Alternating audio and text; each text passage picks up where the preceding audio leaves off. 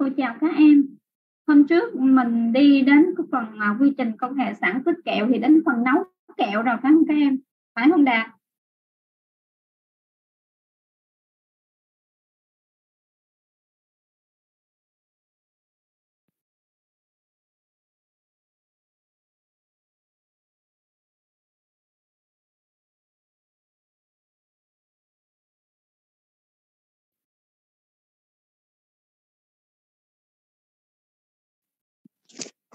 Mình đang đến phần nấu kẹo rồi phải không em?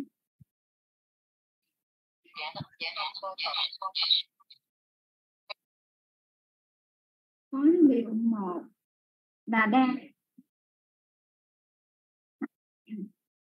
mình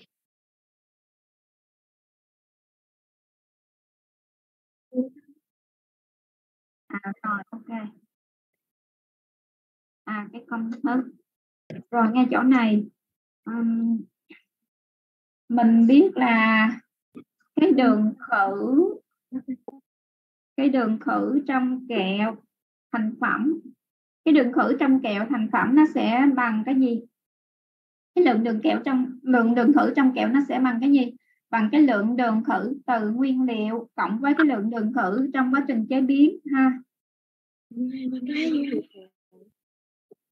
Đây à, đây là cái lượng đường khử sinh ra trong quá trình chế biến còn đây là cái lượng đường khử trong nguyên liệu ha cái lượng đường khử trong nguyên liệu.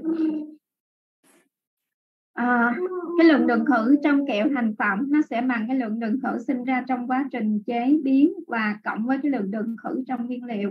Rồi cái lượng đường khử trong nguyên liệu nó sẽ được tính bằng cái gì?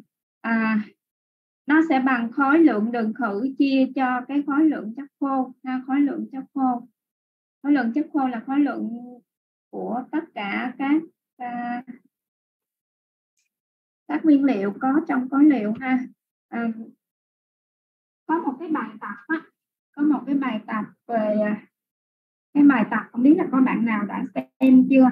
Thì à, lưu ý trong những cái bài tập thì phối liệu chỉ có đường với glucose syrup à, mình không có phối trộn axit vô trộn công đoạn phối liệu một tức là axit là để tạo cái vị chua cho sản phẩm á, thì cái axit sẽ phối trộn vào công đoạn phối trộn phù gia à, cho nên là cái lượng axit là chúng ta không có cho vào trong đây ha. À, nhớ là tính có khối lượng chất khô nè của tất cả các nguyên liệu thì chú ý cái chỗ đó. Cái chỗ đó là hay sai nhất.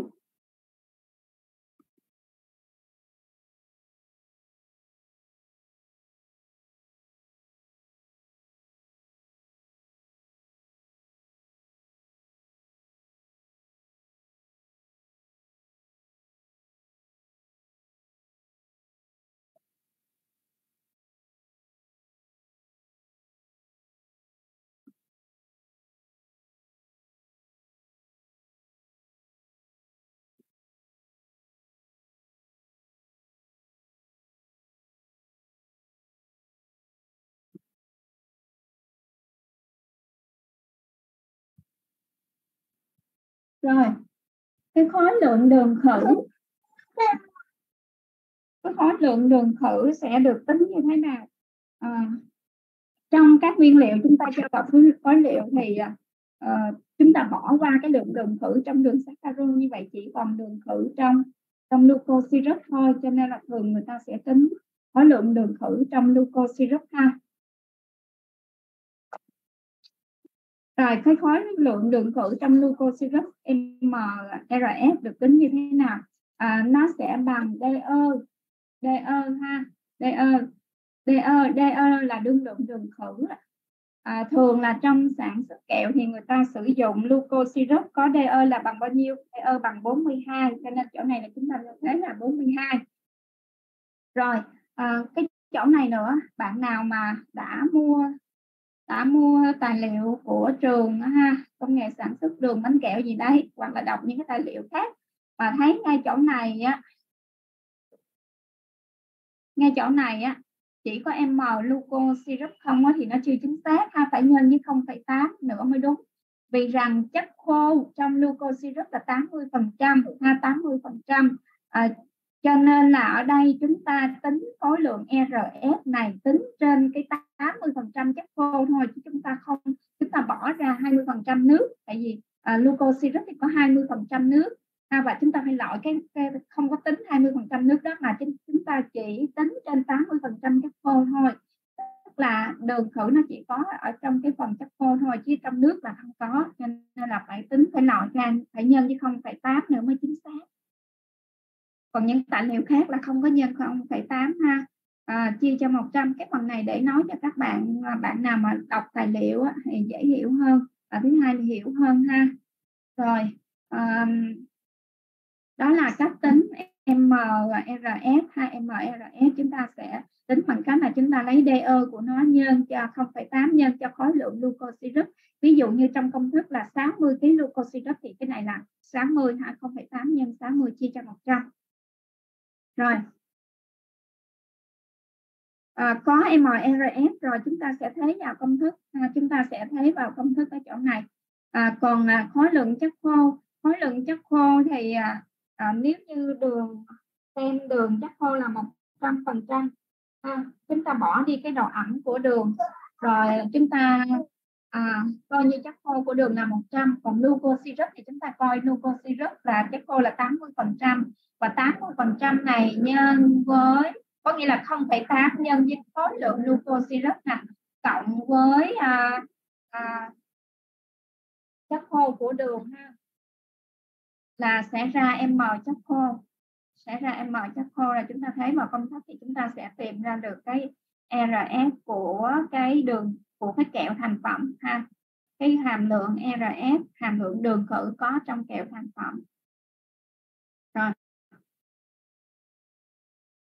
À, đây là cái bài tập ha người ta cho công thức sản xuất kẹo cứng cam như sau đường saccharose là 160 kg hàm lượng chất khô là 99,8 ở đây người ta có cho chất khô thì chúng ta sẽ tính còn nếu như không cho thì coi như là chất khô của đường saccharose là 100 rồi mật tinh bột tức là glucose syrup đó 105 kg chất khô là 80 DE là 42 axit citric là 1 kg hàm lượng chất khô là 95 như vậy lưu ý là trong công thức phối trộn trong ờ, trong phối liệu một là không có axit axit là cho vào cuối cùng cho nên là chúng ta khi tính m chất khô là không có tính axit citric rồi cho biết quá trình nấu kẹo là sử dụng nồi chân không như vậy cái lượng đường khử sinh ra là 1 cho đến 2 phần trăm. Người ta yêu cầu tính là gì? Lượng chất khô có trong nguyên liệu hòa tan. À, nhấn mạnh chữ hòa tan là bởi vì trong nguyên liệu hòa tan chỉ có đường thôi.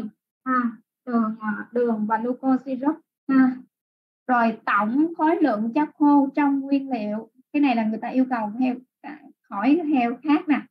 Tổng chất khô trong nguyên liệu là có luôn axit citric rồi khối lượng siro cần hòa tan. À, lượng nước tổng cộng cần để chuẩn bị hòa tan lượng nước cần thêm vào để chuẩn bị hòa tan khối lượng đường khử trong khối liệu. Hàm lượng đường khử trong kẹo thành phẩm tức là chúng ta chỉ giải pháp công thức vô tính thôi và cần lưu ý chỗ này nguyên liệu hòa tan thì chỉ xem như là đường với glucose syrup thôi. Còn uh, tổng khối lượng chất khô trong nguyên liệu là có luôn axit citric rồi. Đó là bài tập em về em tự làm. Rồi sau khi phối liều xong uh, phối liều một xong thì người ta sẽ đem đi nấu kẹo. Nấu kẹo mục đích của quá trình nấu kẹo là để làm gì? Mục đích của quá trình nấu kẹo là làm bốc bốc hơi nước nâng cao nồng độ chất khô lên 97 phần trăm. À, mục đích của quá trình nấu kẹo là làm bốc hơi nước nâng cao nồng độ chất khô lên trên 97%. à,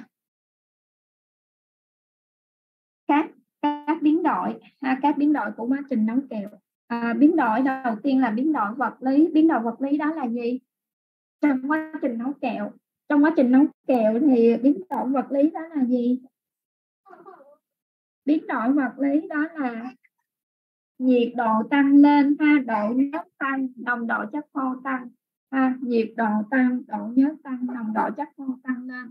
Rồi biến đổi quá lý biến đổi quá lý là gì? Biến đổi hóa học là gì? Các em các em suy nghĩ đi na con. hỏi nha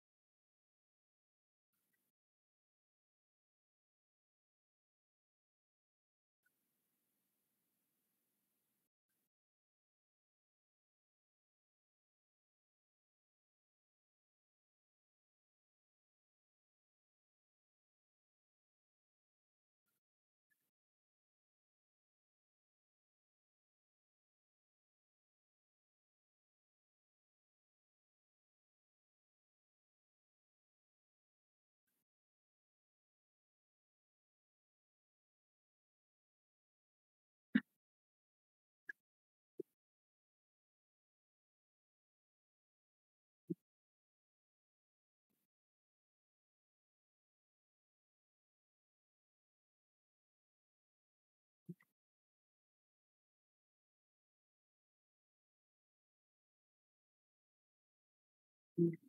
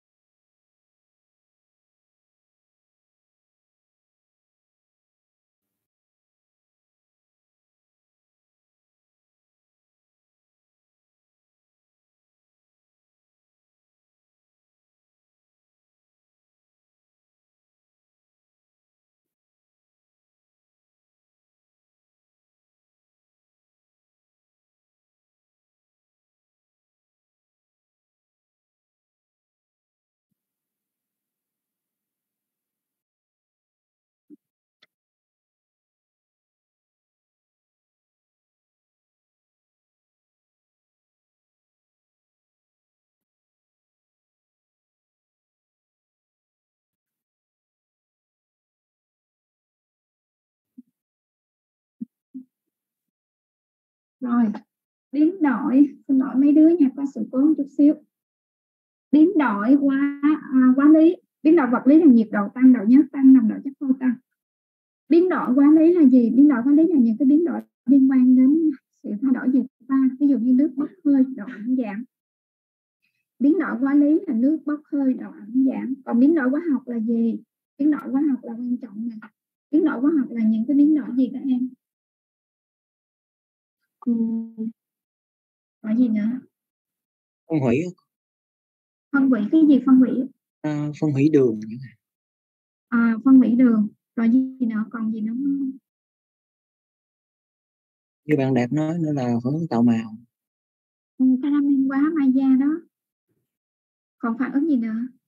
Những biến đổi uh, trong quá trình những biến đổi hóa lý trong quá trình nấu kẹo là thứ nhất là sự caramel. À, sự caramel thứ hai là mai da ngam mai da ờ, rồi thứ ba nữa là thủy phân saccharose thành đường khử. Là có sự thủy phân saccharose thành đường khử. Và thứ tư nữa là sự oxy hóa chất béo. Ha, nếu như công kẹo có chất béo thì có sự oxy hóa chất béo. Rồi có nói lại những biến đổi hóa học trong quá trình nấu kẹo thứ nhất là canamen maya thủy phân saccharose thành đường khử và sự oxy hóa chất béo.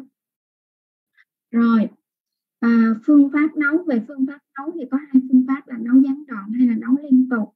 À, à, à, thường trong công nghiệp thì người ta sẽ nấu liên tục nấu liên tục cho nên cô sẽ nói về cái vấn đề nấu liên tục thôi. À, nấu liên tục à, thường nấu liên tục trong thiết bị nấu chân không thì qua cái phần thiết bị thì cô sẽ nói ờ, nói ha. Và bây giờ chúng ta sẽ nói những yêu cầu của quá trình nấu. Những yêu cầu của quá trình nấu có nghĩa là nấu xong thì phải đạt cái độ ẩm độ ẩm là à, nhỏ hơn hoặc bằng 3 phần trăm. Độ ẩm nhỏ hơn hoặc bằng 3 phần trăm. Thứ hai nữa là gì? Màu sắc. Màu sắc tạo thành ít ha, màu sắc tạo thành ít và thứ ba là sự kết tinh ở trạng thái tinh thể là không có có nghĩa là saccharose bị kết tinh ở trạng thái tinh thể là không có. À, và thứ tư là bọt khí tạo thành ít ha, bọt khí tạo thành ít rồi nói lại những yêu cầu của quá trình nấu độ ẩm phải đạt nhỏ hơn hoặc bằng 3% màu sắc ít biến đổi không có sự kết tinh saccharose ở trạng thái tinh thể ít tạo bọt khí ha. Rồi à, về thiết bị nấu kẹo nè. Thiết bị nấu kẹo đây là một cái dạng thiết bị nấu gián đòn, à, nấu gián đòn, um, nấu gián đòn.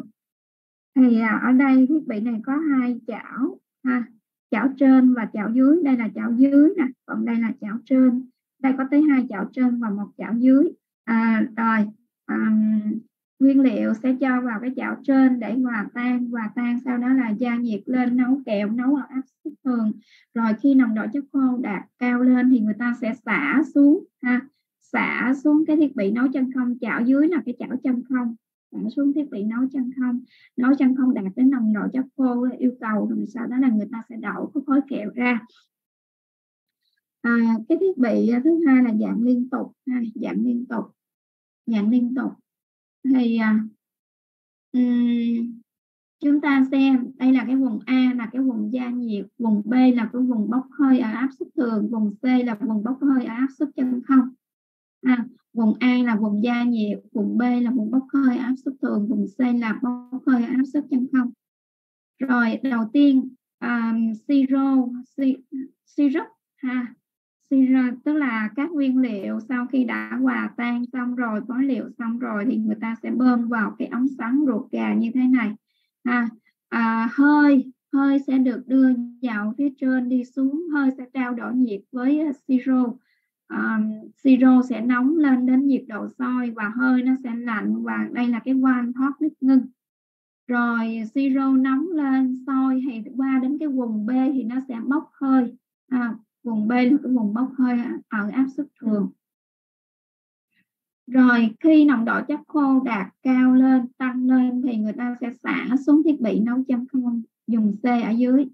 Đây là cái vùng thiết vùng bốc hơi chân không khi bốc hơi chân không đạt yêu cầu đạt cái nồng độ chất khô thì yêu cầu thì người ta sẽ xả xuống cái vùng D.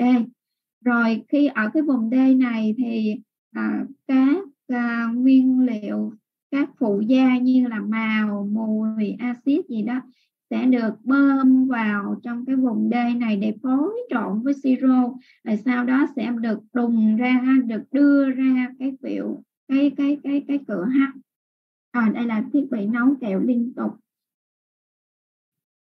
à, như vậy thì khi nấu kẹo nhớ ha đối với nấu kẹo dán gián đoạn hay là nấu kẹo liên tục gì cũng vậy thì ờ, khi nồng độ chất khô mà thấp thì người ta sẽ bốc hơi ở áp suất thường khi nồng độ chất khô cao thì người ta mới chuyển qua bốc hơi bằng chân không à.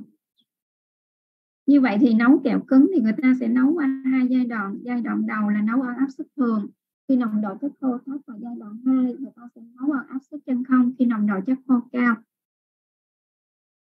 Rồi.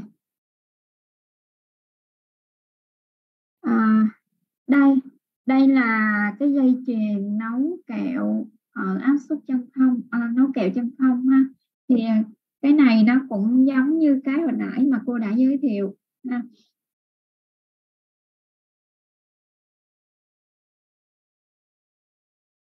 Siro à, siro sau khi đã hòa tan phối liệu xong thì sẽ được bơm vào ống sống ngược gà.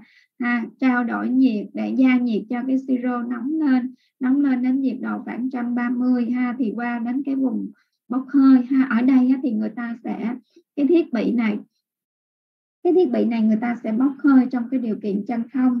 À, sau khi bốc hơi xong cái nhiệt độ siro tăng lên khoảng 140 cho đến 145 ha à, các phụ gia tạo màu mùi sẽ bơm vào phía dưới phía dưới của thiết bị chân không là để phối trộn với cái khói kẹo rồi sau đó là sẽ được đẩy ra ngoài. Rồi phối liệu 2 sau khi nấu kẹo xong thì sẽ chuyển sang phối liệu 2 phối liệu 2 là phối trộn những cái phụ gia tạo màu tạo màu và tạo mùi và axit à, mục đích là phối trộn những phụ gia tạo màu mùi axit để tạo nên màu sắc mùi thơm vị cho kẹo vị chua cho kẹo.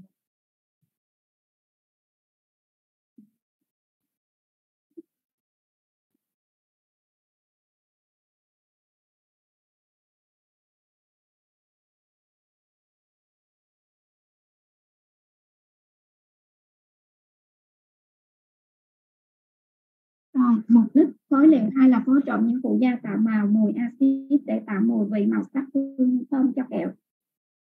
À, yêu cầu của quá trình phối liệu hai thứ nhất là gì? Yêu cầu của phối trộn hai thứ nhất là các phụ liệu phải phối đều trong khối kẹo. Các phụ liệu phối đều trong khối kẹo. Thứ hai là không tạo mầm kết tinh. Thứ ba là không tạo bọt lưu ý nha. Yêu cầu của quá trình phối liệu 2 là không tạo mầm kết tinh không tạo bọt các phụ liệu phối đều trong gói kẹo. Có trường hợp là sau khi nấu xong phối trộn phụ gia thì khuấy lên nó bị đục. Bị đục có nghĩa là đã tạo mầm kết tinh rồi ha mầm kết tinh đã hình thành rồi. Tại vì à, saccharose khi ở trạng thái tinh thể thì nó đục cho nên là nếu mà em khuấy trộn khuấy trộn mạnh lên thấy trộn mạnh thì nó lập tức là mầm tinh thể nó sẽ xuất hiện ha và nó sẽ làm cho khói kẹo đục và trong trường hợp đó là phải đem đi nấu lại. À, cho nên là yêu lưu ý lưu ý trong quá trình nấu kẹo là phối trộn nha. À, lưu ý trong quá trình phối liệu là à, phối liệu hai là phối trộn ngay sau khi xuống kẹo và phụ gia phải ở dạng dung và phối trộn phải nhẹ. Nếu như chúng ta phối trộn quá mạnh thì có thể xuất hiện mầm tinh thể và làm cho khói kẹo bị đục. Ha những cái phụ da ở dạng rắn thì chúng ta phải hòa ra ở dạng dung dịch ha mới trộn vào vì rằng lúc này nồng độ chất khô trong đó nó cao. Nếu như chúng ta để nguyên dạng rắn trộn vào thì nó sẽ không đều. Và khi khói trộn thì chúng ta sẽ khói ngay sau khi xuống kẹo ha khói kẹo đổ ra thì khói ngay sau khi xuống kẹo để cho các nguyên liệu nó phối đều trong đó. Rồi um, hồi nãy nói là trường hợp mà cái khối kẹo khi phối trộn thì nó bị đục. Bị đục có nghĩa là đã có sự hồi đường sự hồi đường. Và cái mẻ hồi đường đó chúng ta có tay có chúng ta xử lý như thế nào? Chúng ta đem đi tái chế hay là chúng ta đem đi bỏ nó đi? À, dĩ nhiên là trong nhà máy người ta sẽ tái chế người ta sẽ tái chế bằng cách nào? Người ta sẽ nấu lại. À, đối với kẹo hồi đường thì phải nấu lại còn đối với những kẹo mà không đạt về hình thức ví dụ như bị mớp bị méo bị sần sùi bị bị nứt bị bể hay là kẹo đầu đuôi đó là những kẹo không đạt về hình thức thì những cái kẹo đó sẽ được tái chế ra công đoạn nào sẽ tái chế ra công đoạn phối liệu hay tức là người ta sẽ cho vào công đoạn phối trộn phụ gia luôn ha. rồi chú ý ngay chỗ đó nha sẽ à, chú ý là còn phải hiểu vấn đề này nữa. Kẹo mà không đạt về hình thức là những cái kẹo đầu đuôi, kẹo bị mớt méo, sần sùi. Nhưng mà kẹo không đạt về chất lượng, có nghĩa là nó sẽ bao gồm cả kẹo không đạt về hình thức và cả kẹo bị hồi đường. Như vậy thì người ta hỏi là kẹo không đạt về chất lượng thì phối tái chế ở khâu nào? Thì chúng ta phải phân biệt ra nếu như kẹo không đạt về chất lượng mà bị hồi đường cái loại mà bị hồi đường thì sẽ tái chế vào công đoạn nấu kẹo. Còn đối với những kẹo mà à, không đạt về cái hình thức là bị mớp méo đầu đuôi gì đó thì sẽ được phối trộn vào công đoạn phối trộn hai tức là phối liệu phối liệu hai hay là phối trộn phụ gia. À, tại sao những cái kẹo bị hồi đường không được phối trộn vào công đoạn phối liệu hai? Tại sao? Tại sao các em?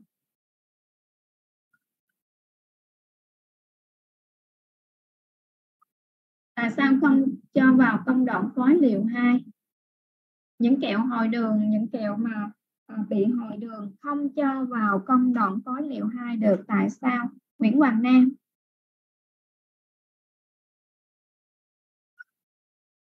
Nam biết không Nam? Dạ. Dạ thưa cô là theo em nghĩ là nếu như kẹo mà bị hồi đường á thì nó sẽ tạo ra những cái gọi là tinh thể thì mình phải đi nấu lại để cho nó hòa tan. À chính xác ha. Những cái kẹo hồi đường thì người ta sẽ à, cho vào nấu kẹo chứ không cho vào khối liệu hai. Vì rằng nếu cho vào khối liệu hai thì nó sẽ mồi cho sự hồi đường diễn ra trong toàn khối kẹo luôn. Có nghĩa là cái viên mẹ kẹo nó sẽ bị hư mất à, cho nên là những kẹo hồi đường đó không sẽ không cho vào công đoạn khối liệu hai đâu mà sẽ cho vào công đoạn nấu kẹo. Rồi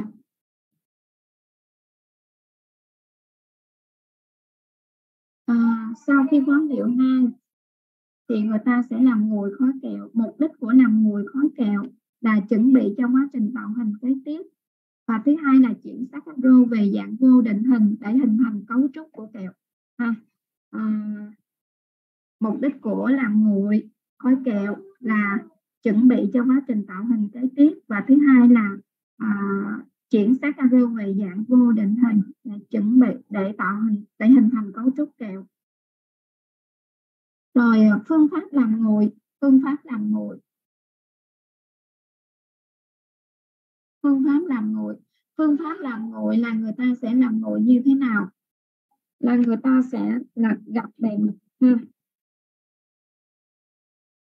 Lật gặp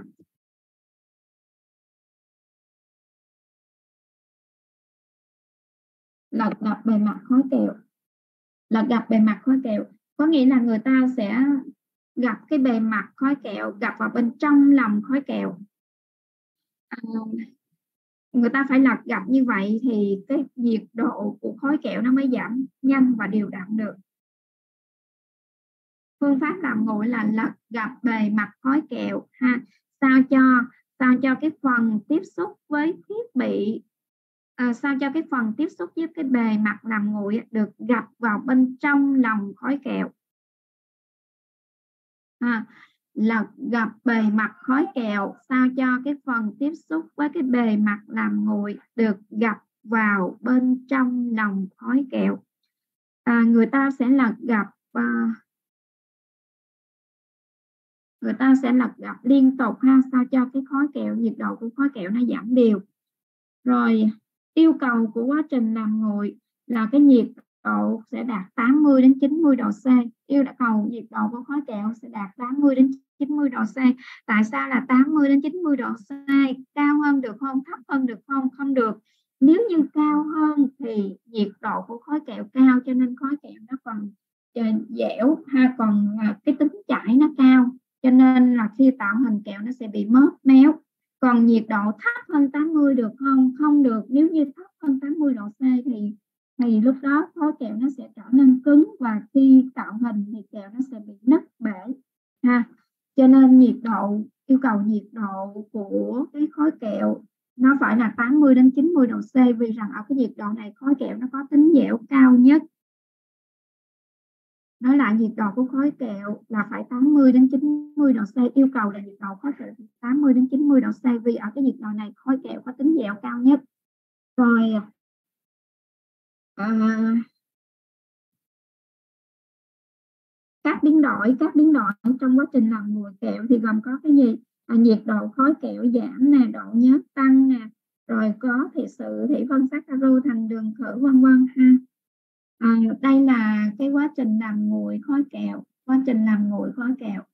À, người ta làm nguội khói kẹo trên một cái thiết bị ha, trên cái bàn làm nguội và cái bàn này à, đây đây là cái bàn làm nguội đây. Đây là cái bàn làm nguội ha bàn làm nguội cái bàn này hai lớp hai, hai lớp.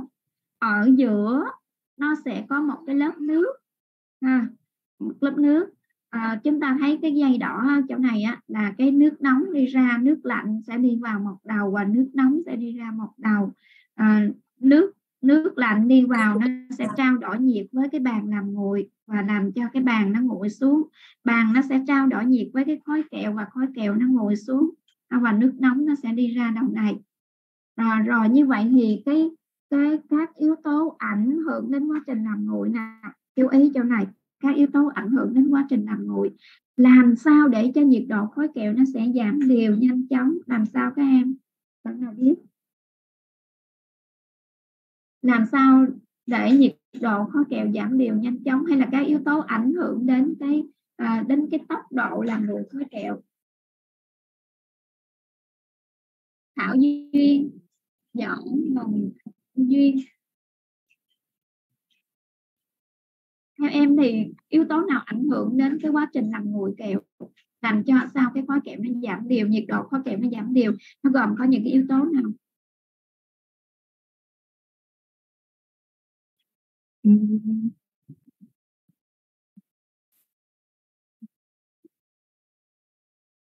Anh nào biết?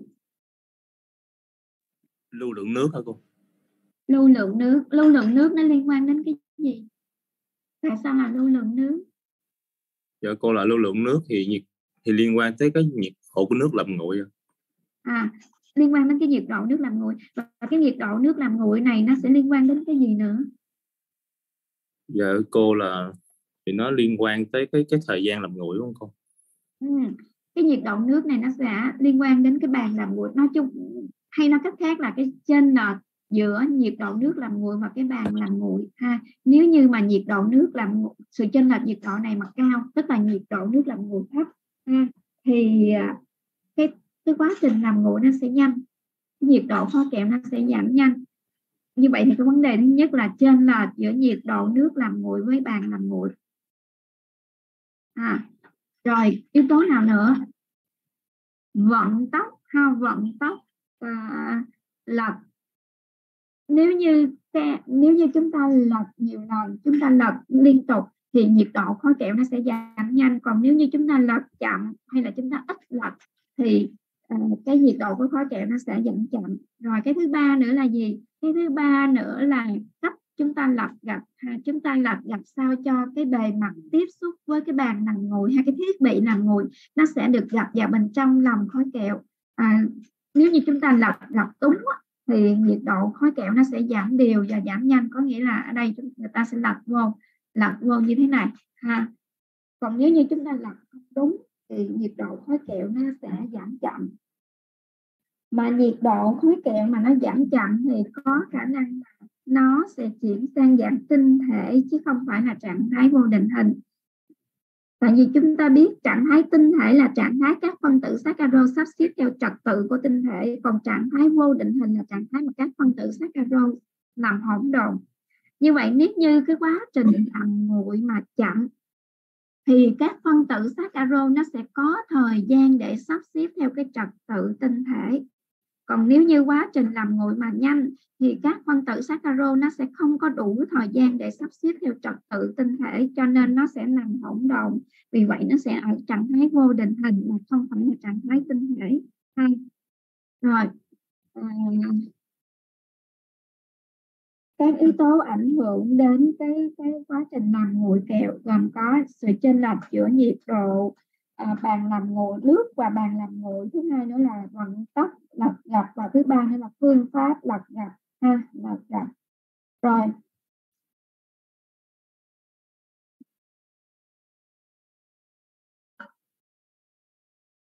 Sau khi khói kẹo đã nguội xuống rồi đạt đến 80 90 độ C rồi thì người ta sẽ chuyển sang giai đoạn tạo hình khói kẹo tạo hình mục đích của tạo hình là tạo thành những viên kẹo có hình dạng và kích thước xác định. Ha hình dạng và kích thước xác định. À, yêu cầu của quá trình làm nguội là hình dạng. À, cô xin nói yêu cầu của quá trình tạo hình là hình dạng phải đều đúng kích thước và khối lượng bề mặt láng bóng không sần sùi không bị nứt mẻ mớp méo. Rồi nó gồm có bốn yêu cầu thứ nhất là hình dạng đều, đúng kích thước và khối lượng, bề mặt láng bóng không sần sùi, không nứt mẻ, mớp méo, ha. Nứt nẻ và là do nhiệt độ khối kẹo nó thấp, mớp méo là do nhiệt độ khối kẹo nó cao. Rồi. Các phương pháp tạo hình. Các phương pháp tạo hình. Thì đối với kẹo cứng có hai phương pháp tạo hình là rót khuôn và dập viên rót khuôn và dập viên à, phương pháp rót khuôn và dập viên rót khuôn. Ví dụ như là kẹo abelie à, đó là cái phương pháp rót khuôn. Rót khuôn hay còn có thể gọi là nhỏ giọt cũng được ha. Rót khuôn hay là nhỏ giọt cũng được. Ví dụ như cạnh kẹo abelie. Rồi à, hoặc là người ta sẽ tạo que ha, tạo que cũng là một dạng rót khuôn. Ha. rồi dạng dập viên ha, dập viên.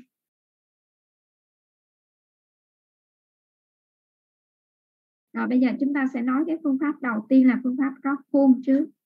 Rót khuôn. À, chúng ta xem cái nguyên tắc rót khuôn. Kẹo sau khi nấu xong sẽ cho vào cái phễu này. Trong cái phễu này có một dải các đầu bơm ha các đầu bơm. Các đầu bơm là các đầu bơm bít tông. Các đầu bơm bít tông. À, cái đầu bơm bít tông này sẽ bơm cái siro kẹo sau khi nấu xong bơm xuống cái khuôn bên dưới. Ha, bơm xuống cái khuôn. À, băng tải băng tải nó sẽ di chuyển theo chiều này. À, sau khi kẹo đã rót vào trong khuôn rồi á, thì những cái viên kẹo này á, nó sẽ được làm nguội trong cái phòng làm nguội hay là cái buồng làm nguội. Sau khi làm nguội xong thì nó sẽ di chuyển ra di chuyển ra đến cái khu vực này là khu vực tách khuôn. À, tách khuôn. À, kẹo nó sẽ tách được tách ra khỏi khuôn cái khuôn này nó sẽ quay lại rót kẹo ha. Còn những cái viên kẹo mà đã được tách khuôn này ra sẽ được đi đến cái công đoạn tiếp theo. Rồi về cái khuôn á, thì nó có ba cái dạng khuôn. Cái dạng khuôn thứ nhất là nó có một cái trục ha cái trục để đẩy cái cái kẹo ra. Cho nên là chúng ta thấy những cái viên kẹo cái bề mặt dưới của cái viên kẹo nó có một cái lỗ tròn tròn như thế này cái cái cái cái hình tròn tròn này là do cái hình của cái trục này ha. Cái trục này dùng để đẩy kẹo ra. Rồi một cái dạng khuôn nữa là cái dạng khuôn mà bằng silicon thì cái khuôn này nó mềm dẻo. Cho nên sau khi mà à, rót xong làm nguội xong á thì người ta sẽ dùng một cái trục ha áp dụng một cái lực lên trên dưới đáy khuôn. Dưới đáy khuôn và cái nguyên kẹo nó sẽ rơi ra giống như là chúng ta à, lấy kẹo ra khỏi khuôn silicon ha. Rồi cái dạng thứ ba nữa là à, nó không phải là một cái trục ha mà nó người ta sẽ thổi khi mà tắt khuôn á, thì người ta sẽ thổi một cái hơi áp lực cao vào và cái viên kẹo được đẩy ra bên ngoài. À, cái dạng này là chúng ta thường gặp nhất ha, cái dạng mà có cái trục. Cho nên là ở dưới mặt dưới của viên kẹo hay có cái cái cái cái cái lỗ tròn tròn, có cái hình dạng tròn tròn như thế này. Rồi. Đây đây là những cái dạng khuôn những cái dạng khuôn.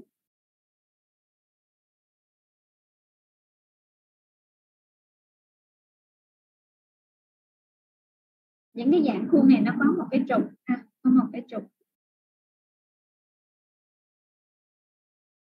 Rồi à, về cơ cấu rót khuôn à, cấu tạo của thiết bị rót gồm có những cái bộ phận chính à, gồm có những cái bộ phận chính nào? Thứ nhất là nó sẽ có cái tiểu chứa đây là cái tiểu chứa siro à, siro sau khi nấu. À rồi tiếp theo nữa là gì? Nó có một cái bê tông à, cái bê tông. Rồi tiếp theo nữa là nó có cái xi lanh xi lanh rồi tiếp theo nữa là ở dưới đây có một cái van bi và dưới đây là cái đầu rót cái đầu phun hay là cái đầu rót rồi à, nguyên lý là gì?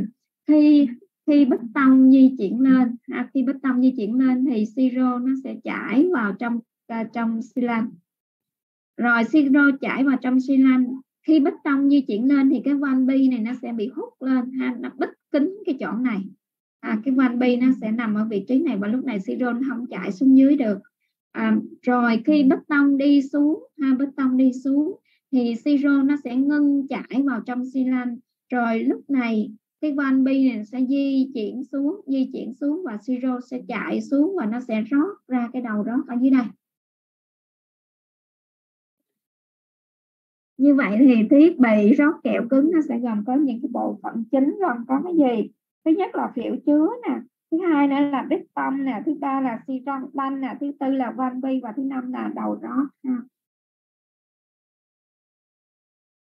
rồi còn đây là cái cơ cấu rót ha cơ cấu rót à,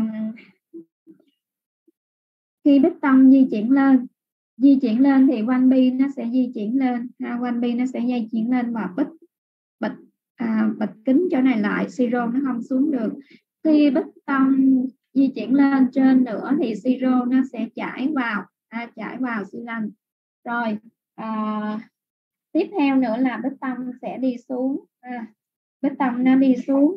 Thì lúc này cái van bi nó sẽ đi xuống. Siro nó ngưng chảy vào trong xi lanh. À, van bi nó sẽ đi xuống. Siro nó sẽ đi xuống. Và khi và lúc này thì siro nó sẽ rót ra ngoài cái khuôn. Ha rồi tiếp theo nữa là bích tâm nó sẽ đi lên. Van bi nó đi lên và lúc này là kẹo nó sẽ ngưng rót xuống. Và chúng ta thấy là à, đối với kẹo á, cái thiết bị rót khuôn á, là cái đầu rót hay là cái cái cơ cấu rót này nó sẽ đứng yên nó không có di chuyển. Còn cái khuôn thì nó sẽ di chuyển cái khuôn nó sẽ di chuyển lên ha, rồi nó rót xong thì nó sẽ hạ xuống. Còn đối với bánh quy hôm trước á, thì sao thì ngược lại? À, cái phương pháp rót khuôn á, đối với bột nhào bánh cookie á, thì sao? Cái băng tải thì đứng yên và cái đầu rót nó hạ xuống đầu rót nó hạ xuống nó rót lên trên băng tải. À, rồi sau đó là nó sẽ nhấc lên ha nhấc lên. Còn đối với à, kẹo thì nó ngược lại ha cái cơ cấu rót thì nó đứng yên và cái băng tải thì nó sẽ di chuyển lên. Nó nâng lên ha nâng lên để rót kẹo. Rót xong nó sẽ hạ xuống hạ xuống thì lúc này cái đuôi cái cái đuôi của kẹo nó sẽ đứt ra.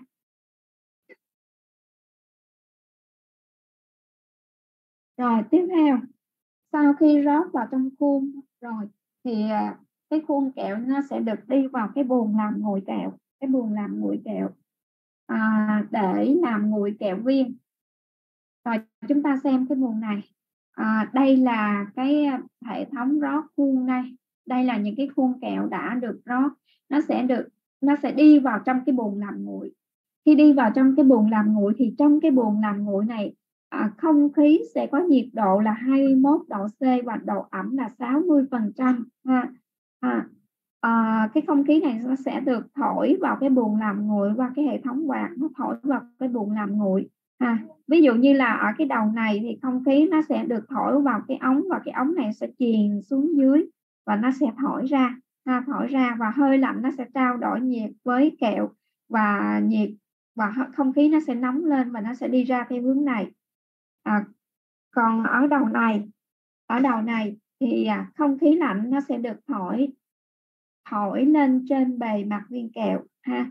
Nó sẽ trao đổi nhiệt với viên kẹo và làm cho cái không khí này nóng lên và không khí này nó sẽ đi ra theo hướng này ha như vậy, cái quan trọng cần nhớ cho cô là trong cái bồn, buồn làm nguội thì nhiệt độ không khí là 21 độ C và độ ẩm không khí là 60% sẽ được thổi vào cái bồn, buồn làm nguội hay được đưa vào cái bồn làm nguội để làm nguội cái viên kẹo xuống.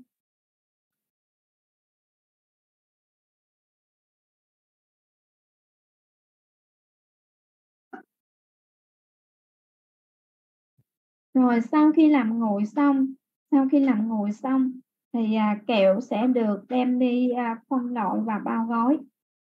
À, như vậy thì xong chúng ta đã nói xong cái phương pháp có khuôn. Bây giờ chúng ta qua cái phương pháp tạo hình tiếp theo đó là phương pháp tạo hình bằng cách là dập viên dập viên. Rồi đối với phương pháp dập viên thì uh, yêu cầu là nó sẽ phải quật kẹo trước rồi sau đó lăn kẹo rồi vuốt kẹo rồi mới dập kẹo như vậy thì đối với phương pháp giặt viên thì phải trải qua bốn bước. Ha, đầu tiên là phải quật, rồi tiếp theo là lăn lăn xong rồi vuốt vuốt xong rồi giặt và bốn bước này nó sẽ phải đi qua theo một cái trật tự như thế này. Ha. nhớ là cái trật tự như thế này. Đầu tiên là phải quật quật rồi lăn lăn rồi vuốt vuốt và giặt rồi bây giờ chúng ta đi nói về cái công đoạn đầu tiên đó là quật kẹo. Quật kẹo mục đích của quật kẹo là để làm gì? Mục đích của quật kẹo là sản xuất kẹo cứng không trong suốt kẹo cứng không trong suốt. À, và thứ hai nữa là khi quật thì làm cho kẹo nó xốp. À, kẹo nó xốp. Tại sao kẹo xốp được? Vì rằng khi quật không khí chui vào trong khói kẹo và làm cho kẹo nó xốp màu nó sáng lên. À, và làm cho cái khói kẹo nó mềm và giảm cái tính dính ha, cái này quan trọng cần phải thuộc nha. Mục đích của quá trình quật kẹo là dùng để sản xuất kẹo cứng không trong suốt có nghĩa là những loại kẹo cứng đục. Còn đối với kẹo cứng trong suốt thì không cần quật ha. Rồi à, khi quật thì à, không khí chui vào trong khói kẹo làm cho khói kẹo nó xốp màu nó sáng lên khói kẹo nó mềm và giảm cái sự dính của khói kẹo ha tức là cái khói kẹo nó sẽ ráo không có bị dính tay còn là làm kẹo cứng mà trong suốt đó, không có quật thường là hay bị dính tay à, ví dụ như chúng ta làm thực hành kẹo cứng ở phòng thí nghiệm thì chúng ta chủ yếu là sử dụng cái phương pháp rót khuôn tức là rót vào trong cái khuôn silicon. Và sau đó là chúng ta làm nguội và chúng ta lấy viên kẹo ra thì thường những viên kẹo đó hay bị dính hay dính tay rồi à, sau khi quật xong thì kẹo xốp kẹo ít dính hơn và kẹo dễ tạo hình hơn ha. Thời gian quật là một cho đến một năm đến 2 phút. Rồi. Tiếp theo. À, đây là thiết bị quật kẹo mà hôm trước cái video hôm trước là chúng ta đã xem ha. À, cái khối kẹo được quật à, chúng ta nhìn này, đây là cái hôm trước chúng ta xem cái video á, thiết bị quật nó sẽ gồm có hai cái cánh tay robot ờ, hai cánh tay robot. Nó sẽ quật cái khối kẹo qua một cái trụ à, đây là một cái trụ đứng yên. À, và à, và hai cánh tay robot sẽ quật cái khối kẹo quanh quanh cái trụ đứng yên này. Rồi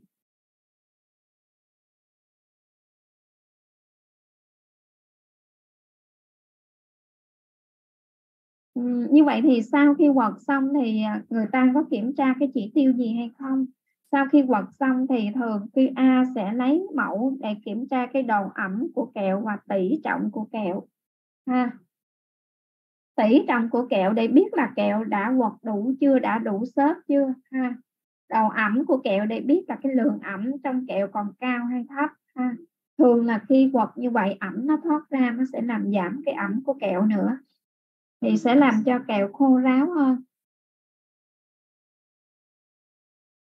Rồi sau khi quật kẹo thì người ta sẽ cho vào thiết bị lăn kẹo ha lăn khô mục đích của lăn kẹo là chuyển cái khối kẹo thành dạng hình chớp chuẩn bị cho quá trình vuốt kẹo.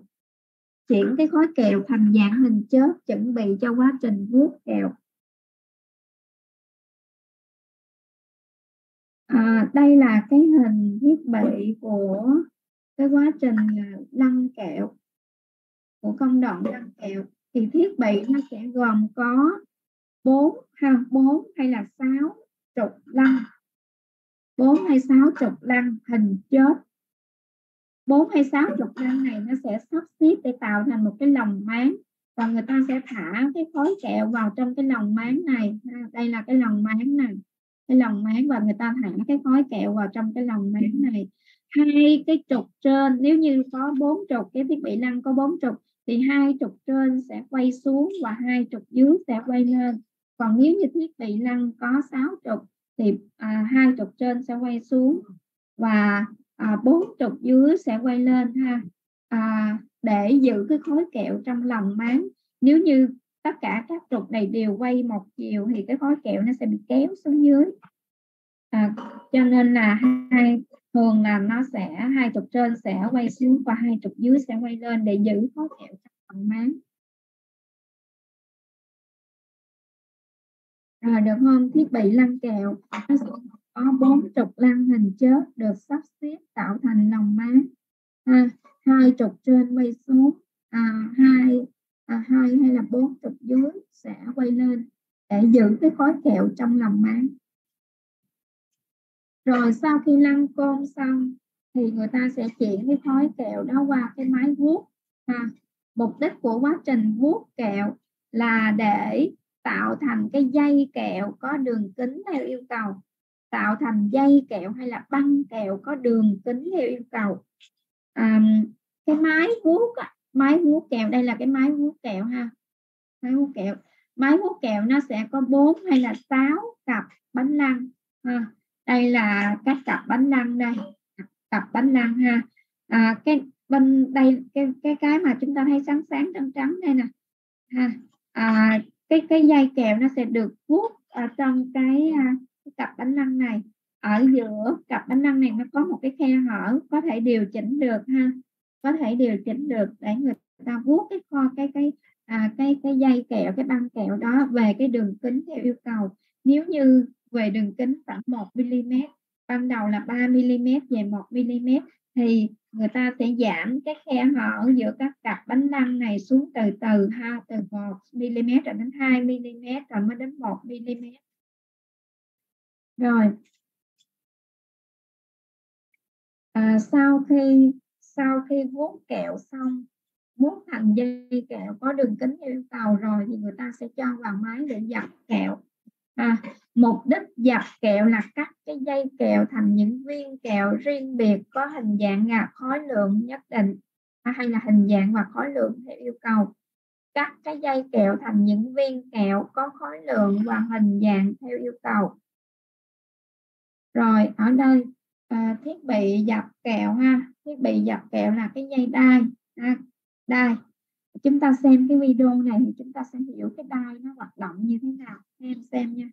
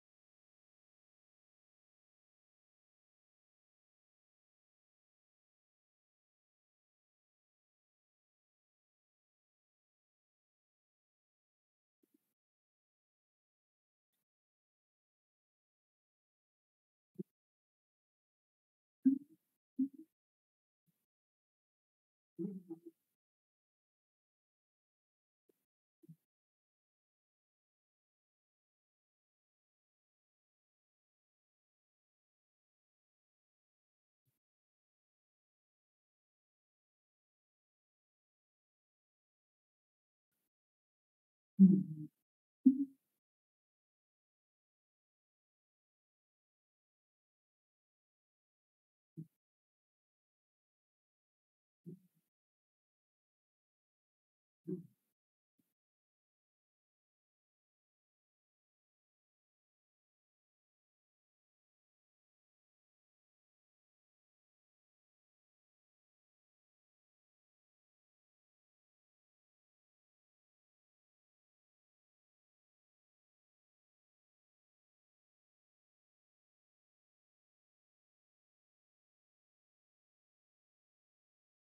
Rồi ông ông quật kẹo ha ông quật kẹo.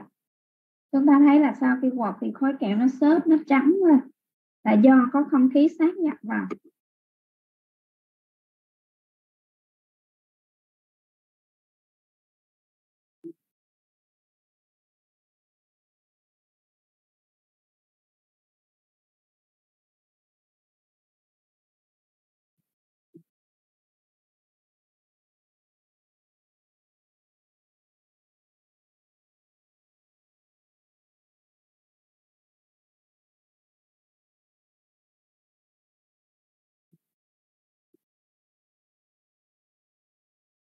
Rồi chúng ta xem chỗ này. Đây là cái quá trình dập viên nè.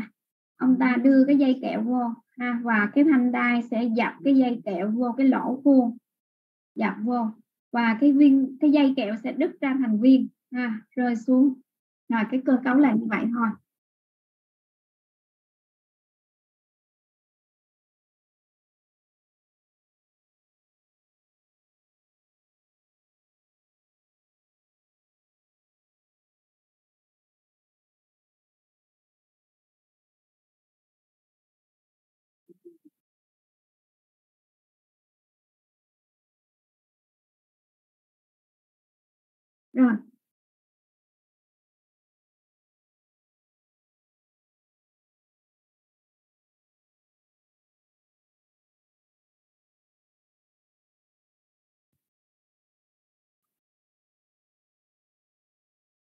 À, đây là cái dạng chuỗi đai ha. Cái chuỗi đai này cũng dạng hữu công ha.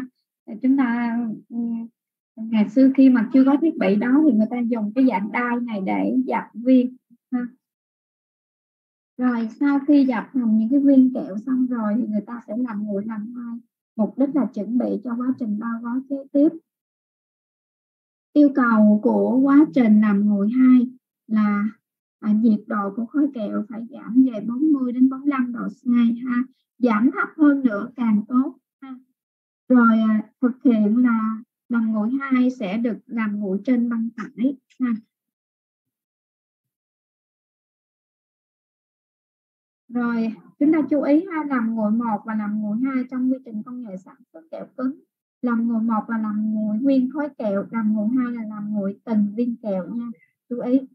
Rồi sau khi nằm ngồi nằm hai nhiệt độ khối kẹo đã giảm rồi thì người ta sẽ đi phân loại kẹo. Mục đích phân loại kẹo là loại ra những viên kẹo không đạt về hình thức và chất lượng, tức là những viên kẹo mớp méo sần sùi nứt bể gì đấy và những cái viên kẹo bị hồi đường ha. à, người ta sẽ phân loại theo phương pháp thủ công có nghĩa là công nhân sẽ ngồi hai bên mặt phải để lựa ra những viên kẹo không đạt không đạt về hình thức và chất lượng rồi những kẹo đầu đuôi thì những kẹo đầu đuôi hay là những kẹo mớp méo sần sùi nứt bể đó sẽ được cho vào công đoạn phối trộn còn đối với những cái loại kẹo mà bị hồi đường thì sẽ cho vào công đoạn nấu kẹo. Rồi sau khi phân loại xong thì người ta sẽ đem đi bao gói kẹo. Mục đích bao gói gói là cách ly kẹo với môi trường bên ngoài ha. À, phương pháp bao gói là có hai phương pháp phổ biến. Uhm, phổ biến là để bao gói kẹo là xoắn hai đầu và ép hai đầu. À, nhưng mà đối với kẹo cứng thì cái phương pháp bao gói đối với kẹo cứng là ép hai đầu thôi. Ngày xưa ngày xưa thì à, người ta bao gói kẹo cứng bằng cách là người ta xoắn hai đầu nhưng mà cái việc bao gói xoắn hai đầu nó không tính dẫn đến là kẹo bị chảy. À, cho nên là ngày nay là chúng ta thấy kẹo cứng là người ta chỉ có một cái phương pháp bao gói là ép hai đầu thôi nha còn đối với kẹo mềm thì có thêm cái phương pháp nữa là xoắn hai đầu ha. Khoe hai cái đầu lại. Rồi. Yêu cầu của quá trình bao gói là cái đường ép phải kính chắc ha. Kính chắc. Thẳng đều. Kính chắc thẳng đều. Rồi. Chúng ta, đây là thiết bị bao gói kẹo thiết bị bao gói kẹo thiết bị này gồm có hai trục treo bao bì. Ha hôm trước trong cái bánh quy là chúng ta coi cái thiết bị là chỉ có một trục treo bao bì thôi. Thì à, đối với cái thiết bị mà có một trục treo bao bì thì đó còn gọi là thiết bị đóng gói dán đòn à, còn cái thiết bị mà có hai trục treo bao bì như mà này thì người ta gọi là thiết bị đóng gói liên tục. À, liên tục. Có nghĩa là nó không có dừng lại à, nếu như mà chỉ có một trục treo bao bì á, thì khi hết cái cuộn bao bì này á, thì người ta sẽ phải dừng máy hay người ta phải tắt máy rồi sau đó là người ta mới máng một cái trục mới máng một cái cuộn bao bì khác lên rồi sau đó là người ta mới à, căng cái bao bì ra rồi sau đó là mới bắt đầu là vận hành thiết bị. Còn đối với cái thiết bị mà có hai trục treo bao bì như thế này thì nó sẽ tự động tự động à, à, thai ha, tự động thai người ta sẽ treo sẵn hai cái trục bao bì này sau đó là người ta sẽ khởi động ha, khởi động một cuộn bao bì. Người ta căng một cuộn bao bì này xuống để bao gói ha. Và khi hết khi cái cuộn bao bì này nó hết thì cái cuộn này nó sẽ tự động kéo qua ha để nó chạy tiếp. Và cái này người ta gọi là máy đóng gói liên tục ha. Kẹo ha kẹo được đổ lên cái phễu này trên tiểu này tiểu này nó sẽ rung rung để chuyển à, để cho kẹo chuyển xuống. Và xuống đây nó sẽ có một cái chổi gạt ha nó sẽ gạt cho từng cái viên kẹo đi vào trong một cái lỗ khuôn. Và từng cái viên kẹo này nó sẽ rớt xuống rơi xuống cái băng tải. Ở dưới đây ở dưới đây là cái băng tải của máy đóng gói nè ha. Đây nó có một cái băng tải từng viên kẹo nó sẽ rớt vào cái vị trí à, à, giữa hai cái ngựa của máy đóng gói ha, nó cũng giống như bánh quy cái chỗ này cái động này nó cũng giống như bánh quy ha ra đây ngay chỗ này là cái cái cái ngay cái khu vực này nè nó gồm có là cái hàm ép với cái dao cắt và cái sensor hay gọi là mắt thần công nhân hay gọi là mắt thần của máy đóng gói ha. À, cái mắt thần là cái cái bộ phận quan trọng nhất của cái máy đóng gói à, cho nên là mất con mắt thần là coi như là cái máy đó không có sử dụng được. À, có một trường hợp ngày xưa khi cô làm ở kinh đô có một cái trường hợp là công nhân nó lấy cái mắt thần của máy đóng gói ha.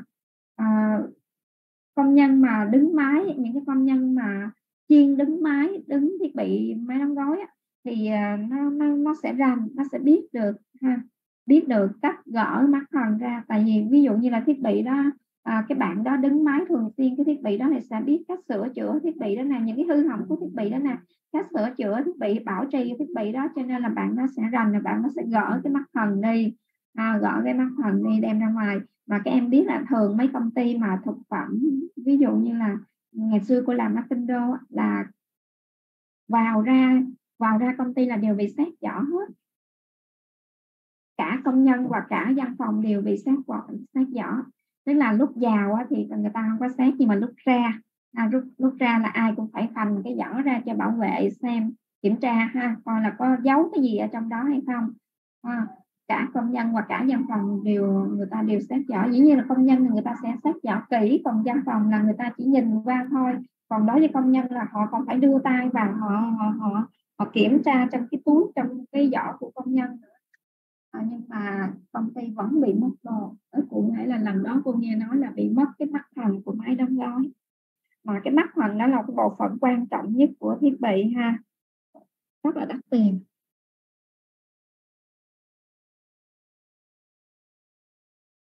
Rồi.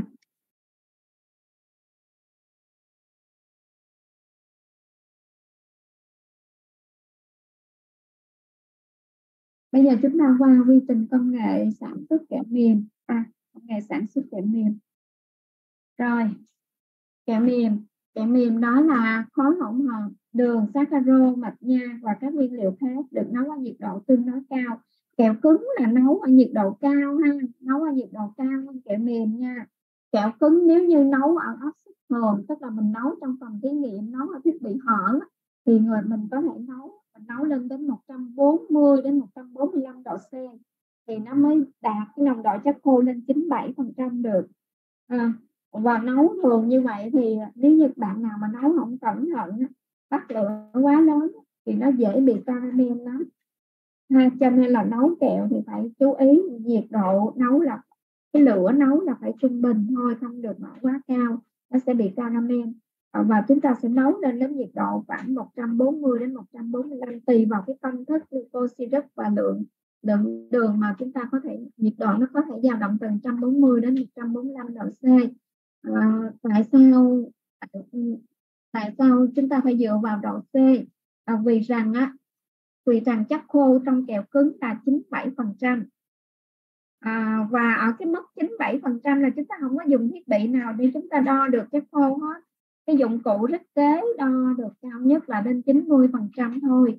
À, 97 phần trăm là không có dụng cụ nào đo được hết cho nên là chúng ta không thể dùng dụng cụ để xác định được nồng độ chất khô để kết thúc cái quá trình nấu kẹo mà chúng ta sẽ dựa vào cái nhiệt độ sôi của dung dịch. À, theo cái nguyên tắc là gì? Nhiệt là nước và khi chúng ta gia nhiệt nước bốc hơi nồng độ chất khô cao nồng độ chất khô cao thì nhiệt độ sôi nó sẽ tăng lên. Và tùy vào công thức nấu thì khi đạt à, khi nhiệt độ sôi của dung dịch lên đến khoảng à, 140 đến 145 thì chất khô nó có thể đạt đến 97 phần trăm. À, cho nên là khi nấu kẹo thủ công là người ta sẽ kiểm soát qua cái nhiệt độ sôi của dung dịch là như vậy chứ người ta không có kiểm soát qua không có dùng thiết kế để đo được. Rồi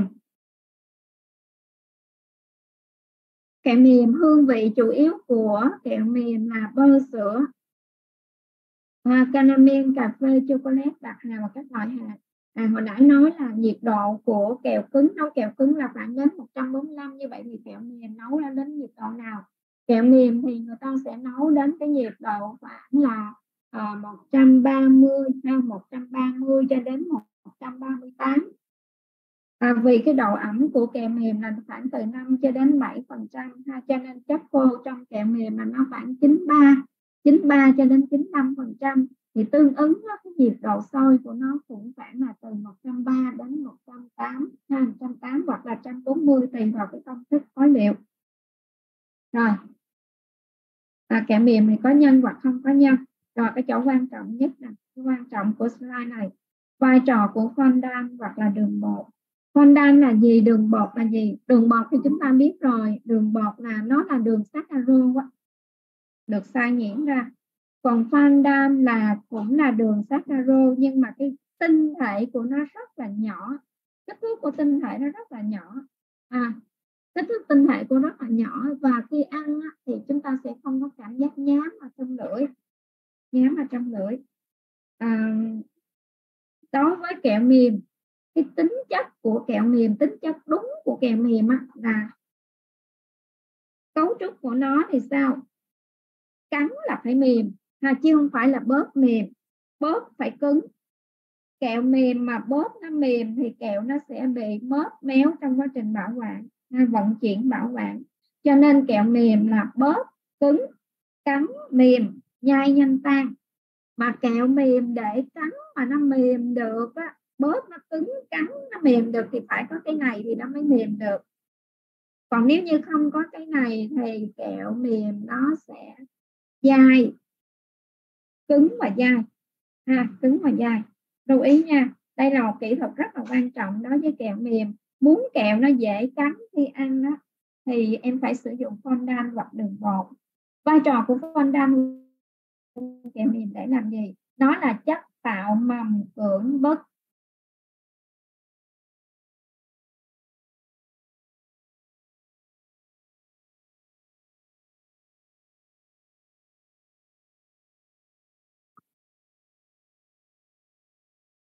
chất tạo mầm vững bức người ta sẽ cho vào trong kẹo mềm ở cái giai đoạn làm nguội phối trộn phụ da đó.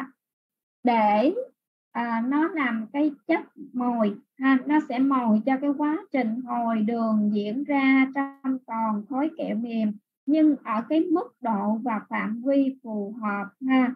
Mức độ phạm vi phù hợp tức là khi em sử dụng mấy cái này em sử dụng đường bọt hay fondant vào trong kẹo mềm thì cái sự hồi đường nó sẽ diễn ra nhưng mà nó sẽ hồi nhưng mà cái cái tinh thể hình thành nó sẽ có kích thước nhỏ. Nếu như em dùng fondant thì cái kích thước à, của cái tinh thể hình thành nó sẽ mịn sẽ nhỏ giống như fondant còn nếu em sử dụng đường bột thì cái tinh thể đường tạo thành nó sẽ có kích thước nhỏ giống như là đường bột. À, mà cái fondant thì kích thước tinh thể nó nhỏ hơn cái đường bột cho nên nếu như dùng fondant thì kẹo mềm ăn sẽ rất là ngon. Còn đường bột thì kẹo mềm ăn không ngon bằng. À. bạn nào mà ăn kẹo mềm, đặc biệt là của URC thì sẽ thấy kẹo nó nó bớt là cứng, nhưng mà cắn thì nó mềm. Ha, cắn nó rất là dễ cắn. Nhai nhanh ta. Rồi nói lại ha, vai trò của fondant hay đường bột nó là chất tạo mầm cưỡng bức người ta cho vào trong kẹo mềm để khống chế tốc độ hồi đường khống chế quá trình hồi đường ở mức độ và phạm vi phù hợp. Rồi quy trình công nghệ.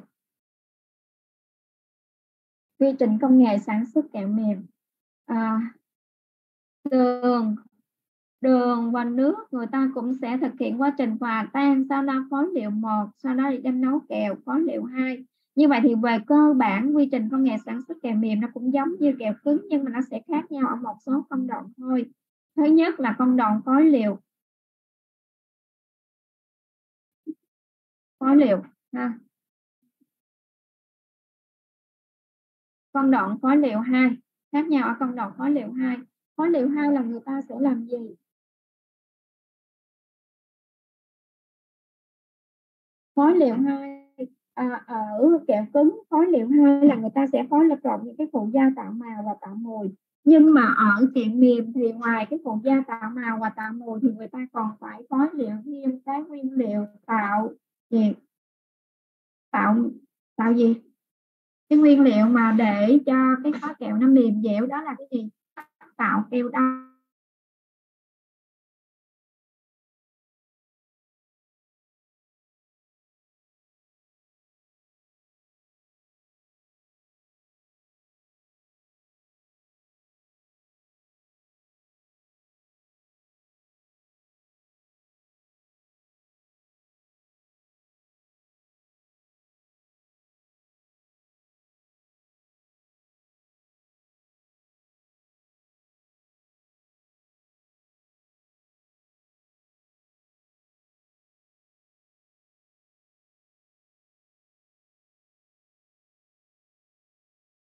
Em quy trình công nghệ sản xuất kẹo mềm là cái gì? Tức là người ta cũng không có hỏi cách đục lỗ, nhưng mà người ta hỏi cách giống như là đối với bánh quy.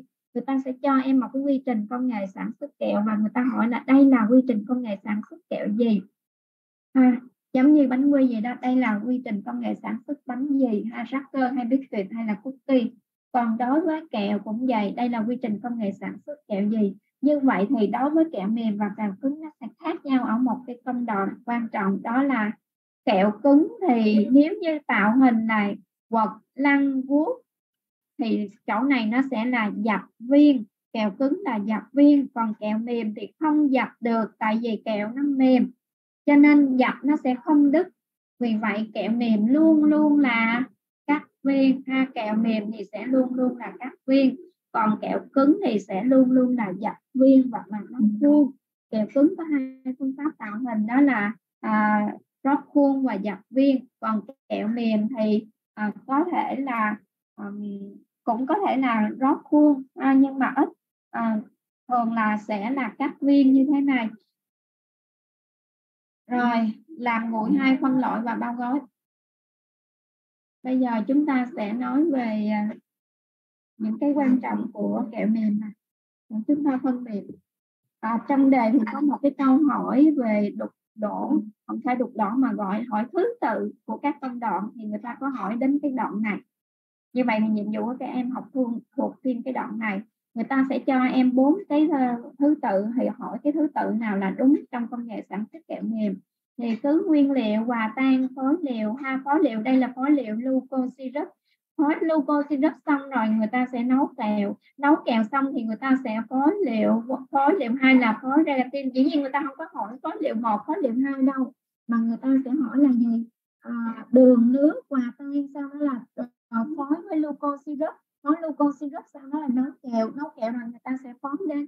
Phối gelatin hay là màu mùi axit là sau đó người ta sẽ đánh trộn. À. rồi đó là cái vấn đề thứ nhất. Và cái vấn là để phân biệt quy trình công nghệ sản xuất kẹo mềm và kẹo cứng thì các em phải xem coi là cái công đoạn tạo hình đó là dập viên hay cắt viên. Hãy nếu là cắt viên thì đó phải là kẹo mềm còn dập viên thì đó là kẹo cứng. Rồi cái vấn đề thứ ba chúng ta cần nhớ đối với kẹo mềm thì kẹo mềm á, à, làm nguội rồi quật nếu như phương pháp mà tạo hình à, là quật là quăng lăn côn vào vuốt thì chú ý ý là cô ở công đoạn quật kẹo nè đối với kẹo cứng hoặc kẹo là để à, sát nhập à, hoặc kẹo là để tạo à, để sản xuất kẹo không trong suốt. Vì khi quật kẹo thì có không khí sát nhập vào làm cho kẹo xốp sáng màu à, à, giảm tính dính gì đó ha. Nhưng mà đối với kẹo mềm thì ngoài những cái vai trò những cái tác dụng của quật kẹo là à, không khí sát nhập vào làm cho kẹo xốp sáng màu gì đó thì nó còn một có một cái quan công đoạn quan trọng cái vai trò quan trọng nữa là để tạo dẻo tạo mà tạo uh, dẻo cho khối kẹo do phát huy tác dụng của cái chất tạo keo đông ha. Cô nói là cô nói lại chỗ này à, quật kẹo đối với kẹo mềm ngoài cái vai trò là tạo xốp cho khối kẹo thì nó còn có vai trò là tạo dẻo cho khối kẹo do phát huy tác dụng của chất tặng keo đông phát huy tác dụng của chất tạo keo đau rồi tiếp theo à, đối với vấn đề thứ tư là đối với kẹo mềm thì người ta sẽ sử dụng chất tạo mầm cưỡng bức. Và chất tạo mầm cưỡng bức thường sử dụng trong kẹo mềm là đường bột hoặc là phân đăng rồi. Xong rồi. Đó là những bốn vấn đề của kẹo mềm mà các em cần chú ý ha.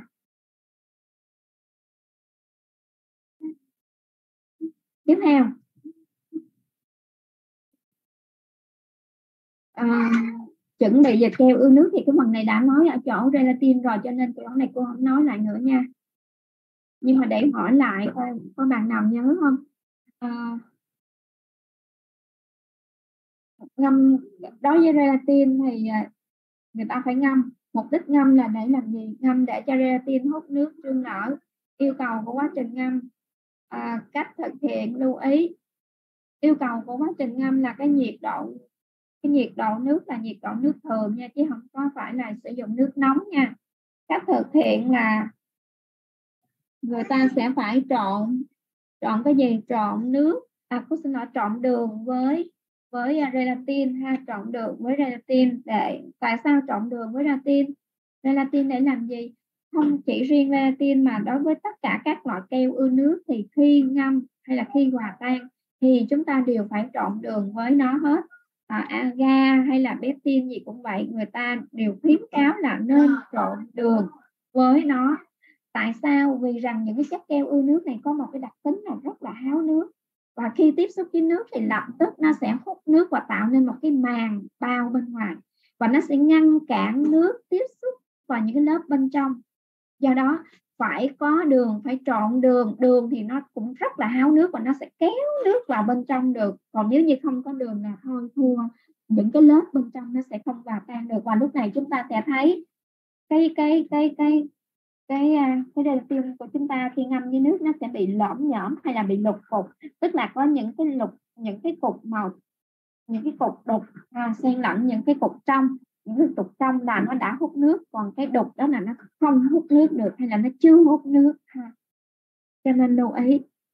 Rồi. Cái lượng nước ngâm gelatin là bao nhiêu và nhiệt độ để đun gelatin là bao nhiêu? Nhiệt độ để hòa tan là gelatin là bao nhiêu bạn nào nhớ thu trang nguyễn thị thu trang. Dạ có ạ. Nhiệt độ ngâm gelatin là nhiệt độ thường thu trang nhớ không? Dạ. Nhiệt độ để hòa tan gelatin là bao nhiêu? Dạ nhiệt độ thường ạ. Không nhiệt độ để hòa tan gelatin nhiệt độ để hòa tan gelatin chứ không phải là nhiệt độ để ngâm gelatin nhiệt độ để hòa tan gelatin nó sẽ khác nhiệt độ ngâm gelatin nha. Nhiệt độ để hòa tan gelatin là nhiệt độ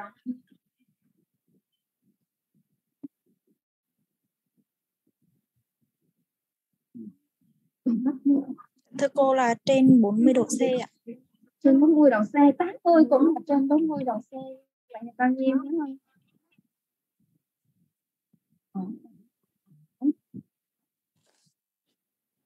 Là bao nhiêu? Giới hạn là bao nhiêu như, như em? Dạ 35 đến à đây trả lời vậy thì sao? Đánh trắc nghiệm được cô hồi học em cô giảm không nhớ cô ờ cô dạ cô rất là hồi hộp về cái chuyện mà thi cử của các em. Tại vì học online các em sẽ không có chú ý thường là không chú ý. Nhiều khi là mở máy để đó vậy thôi chứ không biết là đang làm cái gì đấy chứ không có tập trung. À, cho nên là làm bài thi không có được. Cô nói với các em là cái đề thi là 500 câu và trong đó thì nó có khoảng là mấy chục câu bài tập phần bài tập thì thì thì thì, thì cô không nói rồi nhưng mà như vậy thì có khoảng 400 câu là lý thuyết và 400 câu đó là cô đều giải hết rồi câu nào cũng có giải nha. À, có câu nào mà nhắm là cô các em ờ, không cần ờ, cái phổ cái cái đề không có trải qua bên đó là cô không nói tại vì mình sẽ không có đủ thời gian cho nên có những phần mà cô nhắm là không có học kịp thì cái phần đó là cô không nói, không giải thì có nghĩa là đề thi nó không rơi vào trong đó. Còn những cái phần mà đề thi rơi vào là đều có nói hết, không có cái phần nào là không nói, cho nên các em làm bài không được là do lỗi các em nha. Chúng ta đã chưa thật sự cố gắng. Cái chỗ này là hôm trước nói rồi, bây giờ nhấn mạnh lại, nhắc lại. Là cái nhiệt độ mà để hòa tan gelatin là khoảng bao nhiêu? Nhớ không? Bạn nào nhớ? 50 đến 60 độ C chính xác 50 đến 60 ha. À, và cái lượng nước dùng để ngâm gelatin là bao nhiêu? À, chúng ta biết là nhiều nước thì càng tốt. Gelatin nó hút nước dữ lắm càng nhiều nước thì nó càng hút nước dễ. Và chúng ta ngâm nó dễ hòa tan nó cũng dễ nhưng mà nhiều nước như vậy thì dẫn đến là uh, kẹo của chúng ta sẽ bị sẽ bị ẩm cao vì rằng chúng ta thấy là khối độ hai là khối kẹo sau khi nấu. Như vậy nấu xong rồi chúng ta như vậy nếu như khi ẩm cao quá, cái lượng nước trong cao quá thì dẫn đến là cái lượng nước trong kẹo nó sẽ cao. Lượng nước trong kẹo nó sẽ cao thì dẫn đến là ẩm. Kẹo nó cao, ẩm kẹo cao thì kẹo dễ bị chảy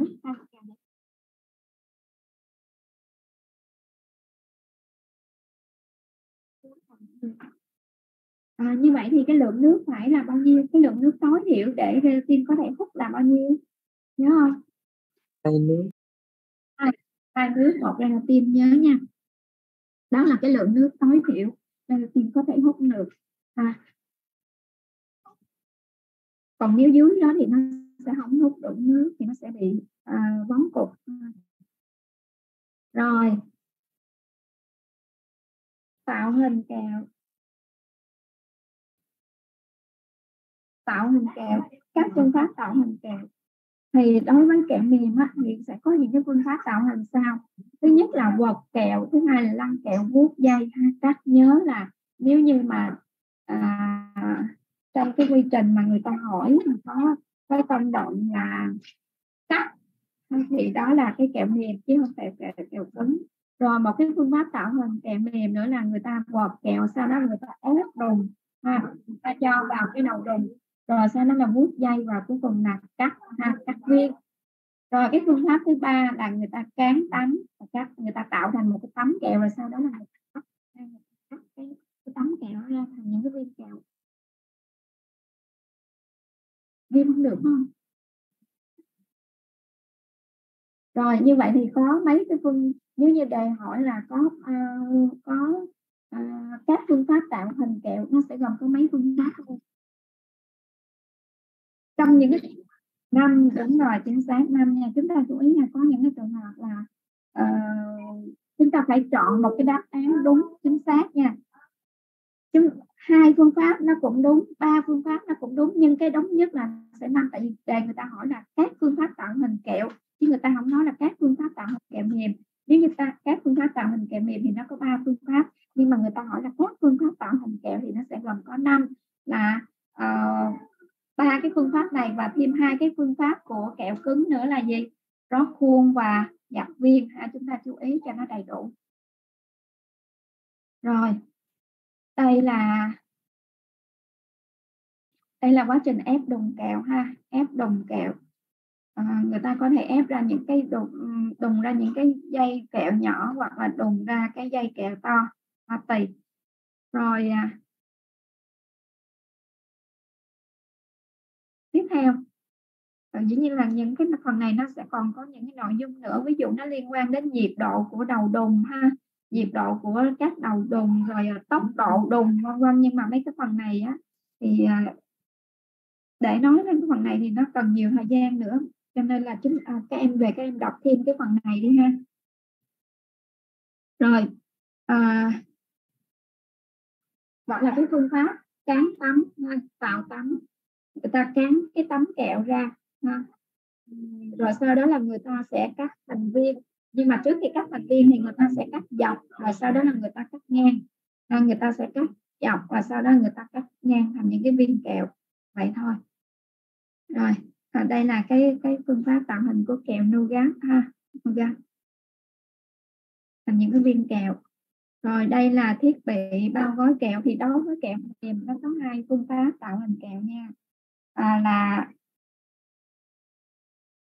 à, không cô nhầm đâu đối với phương pháp kẹo mềm đối đối với phương pháp à, bao gói kẹo mềm thì có hai cách và ép hai đầu và xoắn hai đầu. Còn kẹo cứng là chỉ có ép hai đầu thôi. Tại sao kẹo cứng không xoắn hai đầu được? Tại vì xoắn hai đầu thì nó không kính không kính thì nó sẽ dễ hút ẩm. Hút ẩm kẹo chảy, kẹo mềm kẹo bị hồi còn đối với kẹo mềm thì người ta có thể xoắn hai đầu. Ha xoắn hai đầu. Người ta không cần ép hai đầu. Cũng có những loại kẹo mềm thì ép hai đầu. Và những loại kẹo mềm thì xoắn hai đầu dĩ nhiên sắn hai đầu thì nó sẽ tiết kiệm hơn. Ha, dễ hơn nhanh hơn. Rồi à, đối với kẹo dẻo quy trình công nghệ sản xuất kẹo dẻo. Về cơ bản thì quy trình công nghệ sản xuất kẹo dẻo nó cũng giống với kẹo mềm và kẹo cứng. À, tuy nhiên đối với kẹo dẻo thì à, nếu như sử dụng chất tạo keo đông là betin agar thì người ta sẽ nấu chung với nước với đường và tan luôn còn nếu như sử dụng gelatin thì người ta sẽ cho vào cái công đoạn phối liệu 2 à, phối liệu 2 rồi à, đường nước hòa tan phối liệu 1 à, rồi nấu kẹo nấu kẹo. À, nhiệt độ như vậy vấn đề là nhiệt độ nấu kẹo cái điểm kết thúc của quá trình nấu kẹo. Kẹo cứng thì điểm kết thúc của quá trình nấu kẹo đối với nấu thường nha nấu ở áp suất thường này khoảng 145 độ C còn đối với kẹo mềm à, kẹo cứng thì là 140 đến 145 đối với kẹo mềm thì khoảng 130 đến 138 còn kẹo dẻo thì nó sẽ dao động từ 118 cho đến khoảng 123 ha. tùy vào cái công thức tùy vào cái công thức có glucose syrup và đường tỷ lệ glucose rất và đường mà cái nhiệt độ nấu kẹo nó sẽ khác nhau tại vì nó sẽ cái tỷ lệ phối đó nó sẽ liên quan đến nồng độ chất thô ha, à, cái nhiệt độ trôi của dung dịch của siro. Rồi à, nấu kẹo nấu kẹo nấu kẹo xong thì người ta sẽ làm nguội làm nguội xong thì người ta sẽ phối liều hai. Đối với kẹo dẻo thì phối liều hai là phối với chất tạo keo đông ha gelatin hay là pectin. Lưu ý là à, hiện nay á, có những cái thiết bị nấu kẹo công nghiệp á, hiện đại thì à, người ta có thể nấu luôn người ta sẽ có thể cho gelatin vào nấu chung luôn tức là các các nguyên liệu à, gelatin nó sẽ được hòa tan trước nè hòa tan sau đó là cho vào cái thiết bị nấu chín à, nấu chín và cái nhiệt độ sôi của thiết bị nấu chín này nó sẽ thấp chứ nó không cao nó khoảng 75 độ C thôi à, 75 độ C như vậy nó không ảnh hưởng đến cái sự phá hủy của gelatin à, ví dụ như URC quy trình sản xuất kẹo mềm kẹo dẻo của công ty URC cái cái cái, cái thiết bị nấu của nó rất là hiện đại ha. À, nấu thiết bị nấu chân không chân không thấp cho nên nhiệt độ sôi nó khoảng 70 đến 75 độ C ha. À, và người ta nấu cho gelatin vào cái công đoạn nấu chín luôn trong quá trình nấu chín cái công đoạn nấu kẹo luôn còn đối với những cái đa số những cái bị nấu kẹo khác ở cái nhà máy khác thì người ta sẽ phối liệu hai rồi rót khuôn và rót thay rồi sau đó ổn định cấu trúc. Và nhớ cho cô đây là một cái công đoạn khác biệt của kẹo dẻo với kẹo mềm và kẹo cứng. Kẹo cứng khác kẹo dẻo à, kẹo cứng khác với những loại kẹo khác ở chỗ là nó cắt viên. Kẹo mềm nó ở chỗ là nó à, nhập rồi xin lỗi kẹo cứng á, à, nó là dập viên kẹo mềm là cắt viên và kẹo dẻo thì nó có công đoạn là ổn định cấu trúc à, ổn định cấu trúc. Nhớ cái chỗ này nha. Nếu như người ta hỏi quy trình công nghệ sản xuất kẹo gì mà có công đoạn ổn định cấu trúc thì chúng ta biết đó là kẹo dẻo. Kẹo dẻo luôn luôn có công đoạn ổn định cấu trúc. Như vậy một của ổn định cấu trúc là để làm gì? Ổn định cấu trúc mục đích của quá trình ổn định cấu trúc là tạo cấu trúc reo cho kẹo ha, tạo cấu trúc reo cho kẹo. Rồi yêu cầu của cái quá trình ổn định cấu trúc là à, nhiệt độ quá trình ổn định cấu trúc được thực hiện trong môi trường lạnh nhiệt độ là 20 đến 25 độ C và thời gian là 18 cho đến 20 giờ à, để cái khối kẹo nó ổn định cấu trúc để hình thành nên cấu trúc reo da dẻo đạt hồi cho kẹo. Rồi nó lại ổn định cấu trúc mục đích ổn định cấu trúc là hình thành cấu trúc reo cho kẹo. À, yêu cầu là nhiệt độ nhiệt độ của phòng ổn định cấu trúc hay là cái môi trường lạnh? Môi trường ổn định cấu trúc đó nhiệt độ phải là 20 đến 25 độ C thời gian là 18 đến 20 giờ. À, trong phòng thí nghiệm thì chúng ta không có đủ thời gian và điều kiện nhiệt độ để ổn định cấu trúc cho nên là thường là các bạn sẽ bỏ vô tủ lạnh cho cái quá trình làm lạnh nó, nó để cho cái quá trình à, làm nguội nó được nhanh à, và và thường khi bỏ vào tủ lạnh thì cái quá trình cái cái ổn định cấu trúc nó không có được tốt reo nó hình thành nó không tốt do nhiệt độ nó giảm đột ngột quá cấu trúc reo nó không có được theo một cái mạng lưới tập tự cho nên là khi lấy ra để bên ngoài là nó cũng hay bị chảy ha. À, còn trong nhà máy là người ta sẽ làm cho cái nhiệt độ nó giảm từ từ và thời gian dài như vậy thì cấu trúc nó mới reo reo nó mới cứng đàn hồi được. Rồi trở lại quy trình nè. Rồi ổn định cấu trúc. Sau khi ổn định cấu trúc thành thành cấu trúc reo xong rồi người ta sẽ tách khuôn. À, đối với việc rót vào trong khuôn thì người ta sẽ tách khuôn. Còn đối với việc rót vào trong khay thì người ta sẽ cắt cắt cái cái cái cái khói kẹo ra thành ra nhìn thành những cái viên kẹo ha. Rồi sau đó là người ta sẽ làm bóng hay là bao đường phân loại bao gói. À, đối với việc mà rót khuôn hay là người ta sẽ rót vào những cái khuôn nhỏ như thế này sau khi ổn định cấu trúc xong thì người ta sẽ tách kẹo ra khỏi khuôn khi tách khuôn xong thì người ta có thể là áo dầu à, bao dầu hay là bao đường gì đó để chống dính giữa các viên kẹo với nhau. Còn đối với việc mà à, đổ vào trong khay lớn thì sau khi ổn định cấu trúc xong thì người ta sẽ cắt à, tạo hình bằng cách là người ta cắt ra thành những cái viên nhỏ như thế này rồi sau đó người ta có thể lăn qua đường hoặc là qua dầu ha rồi nói thêm ở chỗ này nữa là khuôn tinh bột. Khuôn tinh bột là khuôn sao à, là người ta sẽ dùng tinh bột để làm cái khuôn.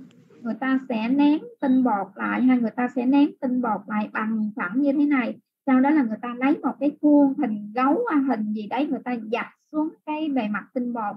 Thì có nghĩa là người ta in xuống cái tinh bột này ra những cái lỗ khuôn nè ha. Và sau đó là người ta sẽ rót siro vào trong những cái lỗ khuôn này rồi người ta sẽ đem vào trong phòng lạnh để ổn định cấu trúc.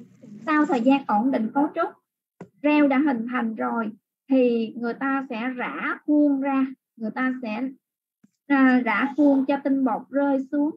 Rồi những cái viên kẹo đó có một cái lớp tinh bột như vậy thì nó không có được bóng thì người ta sẽ phun dầu một cái loại chất béo à, lên trên bề mặt viên kẹo để cho cái viên kẹo đó nó bóng. À, rồi coi như là xong. Rồi đem đi bao gói như vậy thì đối với kẹo dẻo người ta có thể rót khuôn bằng cách à, người ta tạo hình bằng cách là rót siro từ các phễu được giữ nhiệt vào các khay và khuôn. À, siro nè được giữ trong cái phễu này là cái phễu inox một cái phễu inox để giữ nhiệt. Người ta không có rót trong cái phễu nhựa được nha tại vì nhựa không giữ nhiệt cho nên là sẽ làm cho cái siro trong đây nguội nhanh. Nguội nhanh thì dẫn đến là gì? Không có rót xuống được à, cái reo nó sẽ cứng lại cho nên là người ta sẽ dùng cái phễu inox để nó giữ nhiệt ha, cho cái nhiệt độ của siro này được cao và rót xuống nó dễ dàng hơn. Và khi mà chúng ta làm thực hành á, về kẹo dẻo thì chúng ta cũng siro sau khi nấu xong chúng ta sẽ trộn với chất tạo keo đông rồi sau đó là chúng ta sẽ rót vào các phễu giữ nhiệt như thế này rồi sau đó mới rót vào trong khuôn silicon. Chúng ta có thể dùng khuôn silicon hoặc là khuôn tinh bột cũng được hết rồi. À, sau đó thì đem đi à, đã ờ, đem đem đem tách khuôn và đem đi bao gói rồi. Những biến đổi của kẹo trong quá trình bảo quản trong quá trình bảo, bảo quản thì độ ẩm của kẹo nó tăng lên thay việc. À, dù là chúng ta bao gói trong cái màng bao trong cái bao bì rồi nhưng mà cái bao bì đó theo thời gian nó vẫn có thể là hút ẩm hút oxy à, hút ẩm cho nên là nó sẽ làm cho kẹo ẩm của kẹo nó sẽ tăng lên độ ẩm kẹo tăng lên. Rồi tiếp theo nữa là nó sẽ có sự hồi đường à, sự hồi đường và cuối cùng là có sự thủy phân saccharose thành đường thử. Chúng ta nhớ nha sự thủy phân saccharose thành đường thử này nó sẽ diễn ra diễn ra cho đến khi nào thì dừng. Nó sẽ cho đến khi hết đời kẹo thì dừng. Tức là tại sao trong quá trình bảo quản kẹo có sự thủy phân saccharose thành đường thử? Bởi vì uh, các loại kẹo các loại kẹo thì đa phần nó là kẹo trái cây tức là nó có axit cho nên là pH trong đó nó thấp. Vì vậy nó luôn luôn có sự thủy phân saccharose thành đường thử ha. Như vậy thì cái lượng đường thử trong kẹo nó sẽ tăng lên tăng lên. Và nếu như cái kẹo bao gói không kính thì nó sẽ nhanh bị hút ẩm. Hút ẩm và làm kẹo chảy và kẹo chảy thì cuối cùng là kẹo hồi đường. Rồi à, cuối cùng à, chúng trong cái đề thi của chúng ta sẽ có một cái dạng bài tập ha bài tập thay thế nguyên liệu. Cái bài tập này ở trong phần bánh quy hôm trước có nói rồi không biết là có bạn nào về làm chưa? Có bạn nào làm chưa? Đạt có làm chưa đạt? À, à, cái bài tập dạng này là ok đúng không? Tức là tuổi đủ sức của các em đúng không? À, cho một công thức bánh quy sử dụng 72 kg bơ và 30 kg nước. Nhà sản xuất dùng sortinin thay thế trên 50 phần trăm lượng bơ trong công thức ngay chỗ này người ta có thể thay đổi nha. 50 phần trăm hoặc là 30 phần trăm hoặc 20 phần trăm hoặc là trăm phần trăm tùy lượng bơ trong công thức ha, à, người ta yêu cầu là hãy tính lượng sortinin và lượng nước bổ sung là bao nhiêu để đảm bảo lượng chất béo trong công thức không thay đổi ha? Thì ngay chỗ này các em sẽ phải tính cái gì? Đầu tiên là các em sẽ tính cái trong 72 kg bơ này em bơ thì nó là một cái nhũ tương ha, gồm có dầu và nước. Như vậy tức là chất béo và nước thì các em phải tính cái lượng chất béo trong 72 kg bơ này là bao nhiêu? Và cái lượng chất béo đó chính là cái lượng sọt sortinin mà các em dùng để thay thế. Nhớ là 50 phần trăm à, thay thế 50 phần trăm. Khi mà em thay thế trăm phần trăm thì cái lượng éo lượng lipid trong bơ thì chính là lượng sọt sortinin nhưng mà nếu thay thế 50 phần trăm thì em phải chia cho hai. Nếu như thay thế 20 phần trăm thì em sẽ phải chia tiếp nữa, giảm tiếp nữa, ha, chú ý. Rồi, tiếp theo là em phải tính cái lượng nước trong 72 kg bơ này là bao nhiêu? Mình biết cái lượng nước trong bơ là bao nhiêu? Bạn nào nhớ, lượng nước trong bơ là bao nhiêu? 16 phần trăm. Lượng nước trong bơ là 16 phần trăm thì mình sẽ tính cái lượng nước ở trong 72 kg bơ này là bao nhiêu? Rồi sau đó là chúng cái lượng nước này nếu như là 100 phần trăm thì nếu như thay thế 100 phần trăm thì cái lượng nước đó chính là cái lượng nước mà em cần phải tăng thêm.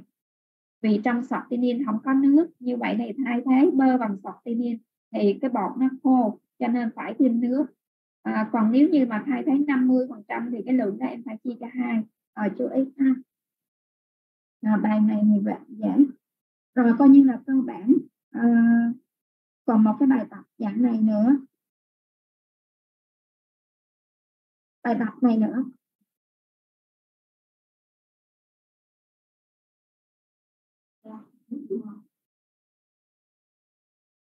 Bài tập này nữa. Cho công thức bánh quy có hàm lượng các thành phần tính theo bột mì như sau. Cái này có bạn nào làm chưa? Bột mì có 10% protein là 86% bột mì có 8% protein là 14% đường bột là 50 bơ là 49 à, vân vân vân vân các thành phần à, bây giờ mình sẽ tính như thế nào cái này tính như thế nào các em hãy tính khối lượng các nguyên liệu cần sử dụng để nhào cộng cho một mẻ bột nhào là 700 kg tức là một mẻ một cái cối nhà của em có dung tích có khối lượng là 700 kg à, em phải tính bao nhiêu đường bao nhiêu bột bao nhiêu bơ bao nhiêu các thành phần nguyên liệu này để ra được món mẻ là 700 kg thôi. Cái này có bạn nào làm rồi? Đạt có làm chưa đạt?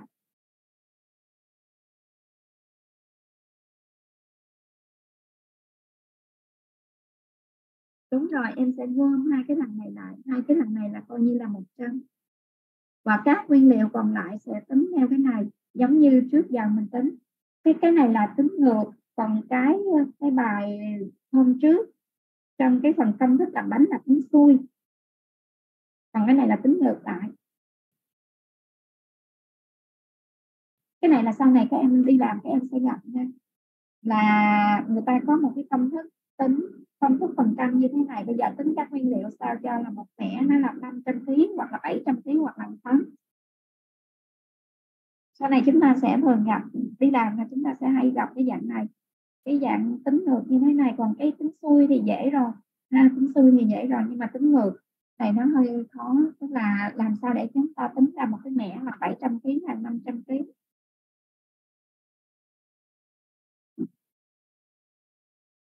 thường gặp lắm đó. Rồi bây giờ mình làm sao?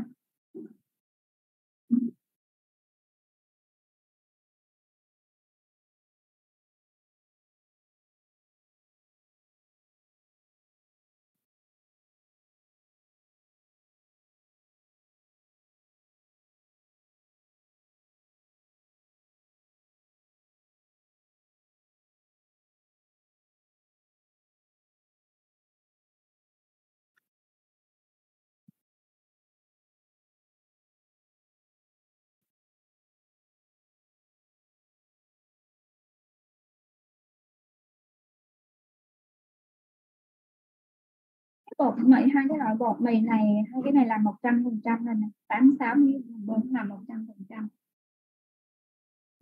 Rồi à, đường bột ở đây đường bột chiếm 50 phần trăm. 50 phần trăm là 50 phần trăm theo cái lượng này à,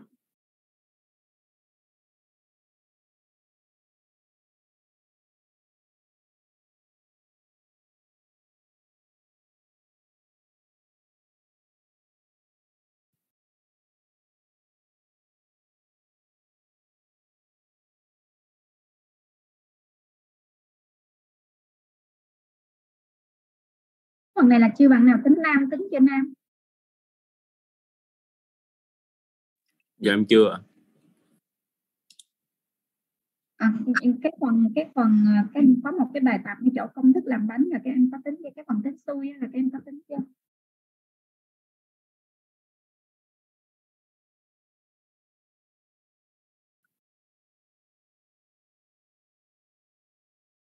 rồi thôi bây giờ cái bài này cô sẽ à, cho tụi em cái đáp án ha. Cái cách tính là cũng sẽ dựa vào bột mì sẽ dựa vào bột mì để tính ra.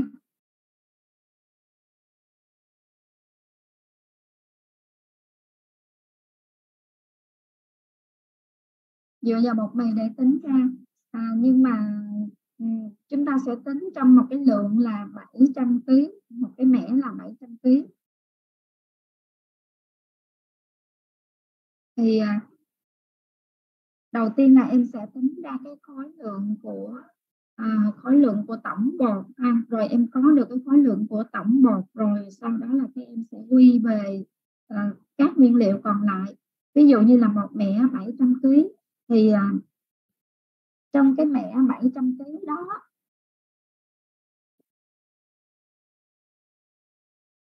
cái này phải có bảng mới được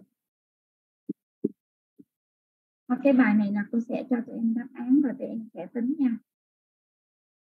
Rồi à, quay trở lại cái phần lý thuyết cái phần lý thuyết thì tụi em có gì thắc mắc không? Cái đề thi là chúng ta sẽ có 50 câu 50 câu và có một cái bài tập.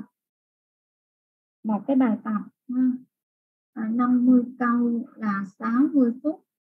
50 câu 60 phút có một cái bài tập nhỏ nhỏ cái bài tập này thì dài lắm cho nên là bài tập này để cho các em biết các em làm thực hành thôi. Chứ cái bài dạng này thì không thi mà thi cái dạng bài dạng hồi nãy tức là một cái bài tập nhỏ thôi. Bài tập đó nó thừa sức mấy đứa mà đúng không? À, trong 50 câu đó thì cái phần đường á rồi cô xem lại coi cái ma trận cái đề thi thì cái phần đường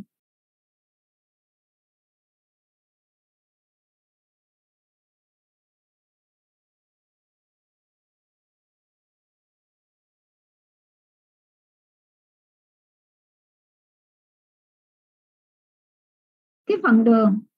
Um, phần một là công nghệ sản xuất đường.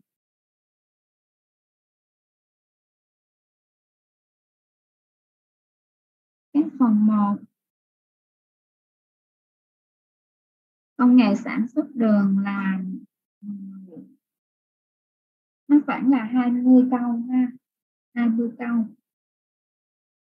rồi à, qua cái phần à, công nghệ sản xuất bánh kẹo thì nó là 30 câu. 30 câu thì trong cái phần bánh trong cái phần bánh là nguyên liệu và bánh quy luôn là khoảng 10 nguyên liệu là 10 câu. À, công nghệ là công nghệ bánh của bánh quy công nghệ của bánh quy là khoảng à, 15 câu và công nghệ của phần kẹo là khoảng à, bảy uh, tám câu gì đấy ha. À, tức, uh, tổng của chúng ta là khoảng 50 câu 50 câu. Um, trong thời gian là 60 phút hồi trước giờ thì cái đề này 50 câu là 50 phút.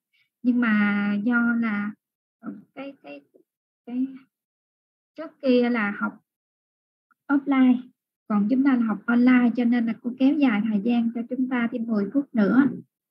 Là 60 phút 50 câu 60 phút chứ trước giờ đề này 50 câu là 50 phút. Rồi ha. À, trong cái phần ờ, bánh kẹo có gì thắc mắc không?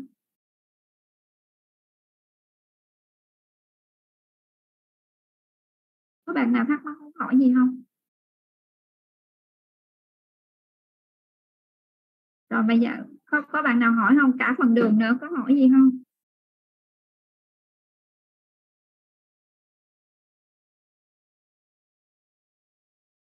Lúc đầu là do không kịp giờ cho nên giờ đi nhanh quá giờ cô quay lại cô hỏi nè. Có bạn nào hỏi không? Giờ không hỏi thì cô hỏi nha.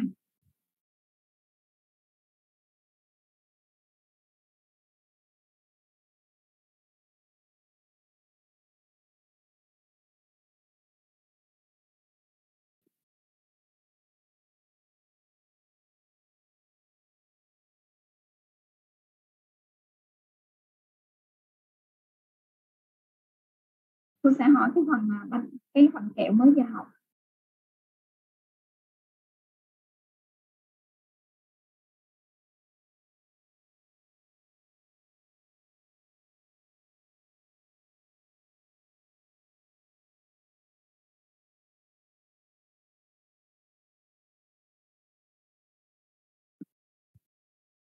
Câu hỏi thứ nhất là sự hội đường trong kẹo là gì? Sự hội đường là mong muốn hay không mong muốn? À, sự hội đường có ý nghĩa gì đối với kẹo mềm? Rồi ba câu. Và cô sẽ gọi tên theo cái danh sách này.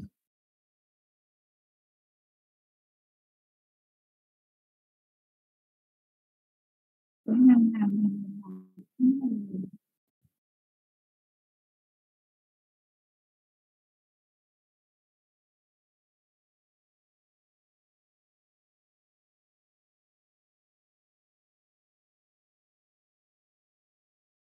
Thị Vân, Nguyễn Dương Thị Vân. Nguyễn Dương Thị Vân có không?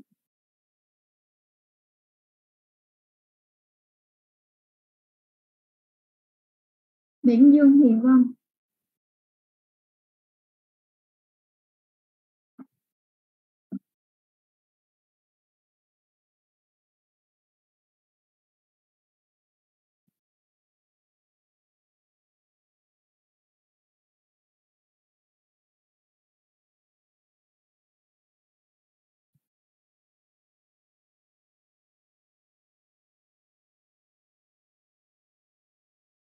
À và nhầm rồi.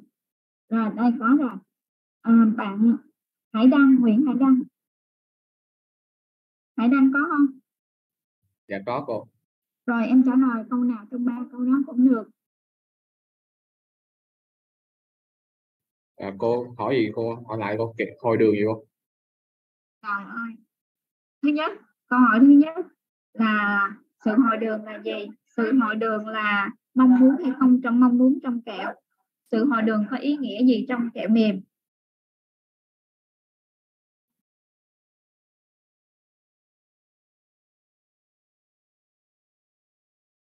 Còn là hồi đường là không mong muốn trong kẹo. Ừ. sự hồi đường là gì?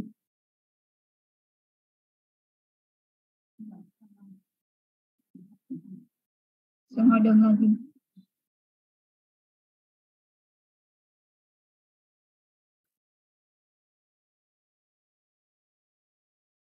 Sự hồi đường là gì em.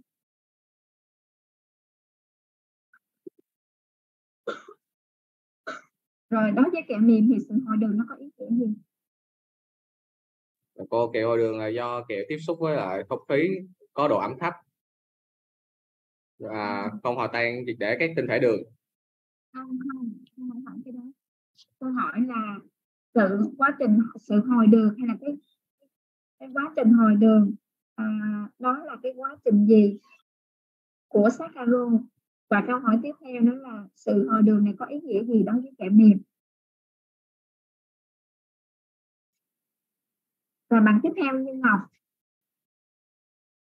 Trần như ngọc.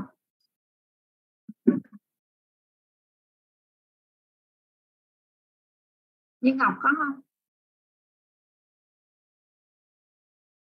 Như ngọc vắng phải không? Trần như ngọc rồi như ngọc vắng nha. Bùi quân tú. Bùi quân tú có không? Dạ có em cô rồi trả lời cho cô đi. Sự hồi đường là gì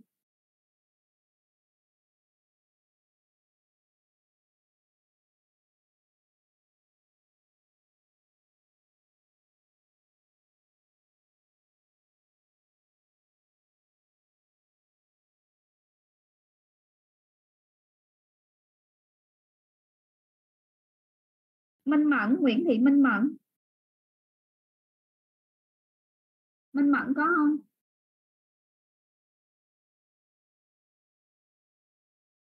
Nguyễn Thị Minh Mẫn.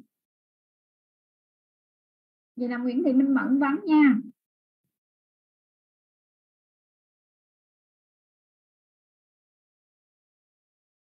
Lê Thị Thu Dung.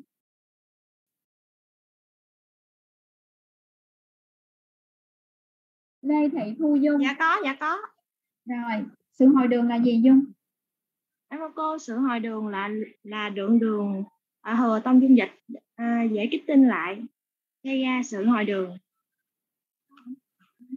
Sự hồi đường là là saccharose trở là trạng thái tinh thể ban đầu đó là sự hồi đường hay là sự lại đường đó. Sự lại đường Dạ. hay sự hồi đường là cái trạng thái là saccharose trở lại trở lại cái hình thức hay là trở lại đó là cái trạng thái tinh thể ban đầu? Rồi ý nghĩa của sự hồi đường đối với kẹo mềm. Kẹo mềm cần sự hồi đường hay không? Cần. Ha. kẹo cứng là không cần sự hồi đường. Nhưng mà đối với kẹo mềm là cần sự hồi đường nhưng mà hồi đường ở cái mức độ và phạm vi phù hợp. À, ở mức độ và phạm vi phù hợp. À, làm sao để cho kẹo mềm nó nó hồi đường ở mức độ phạm vi phù hợp? Thu dung. Dạ. Làm sao để kẹo mềm nó được ở mức độ và phạm vi phù hợp? À,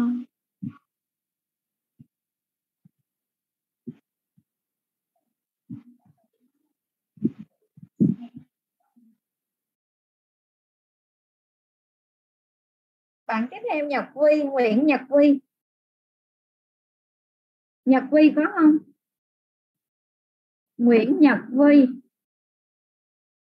rồi Nhật Vi có ơi rồi rồi Nguyễn Nhật Vi à, làm sao để khống chế sự hồi đường trong kẹo mềm ở mức độ và phạm vi phù hợp? Dạ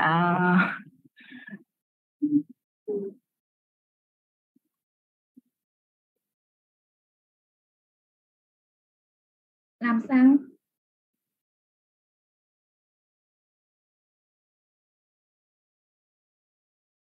Võ Thị Ngọc Anh. Dạ Võ Ngọc Anh. À, rồi làm sao để khống chế mức độ ờ, hồi đường trong kẹo mềm em?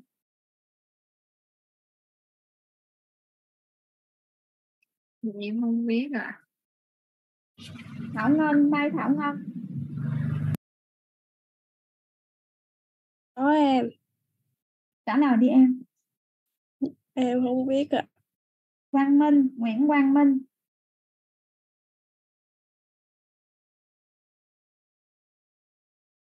Quang Minh có không? Nguyễn Quang Minh. Rồi Nguyễn Quang Minh vắng nha. Nguyễn Tấn Vinh Nguyễn Tấn Vinh dạ có em cô rồi trả lời câu hỏi đi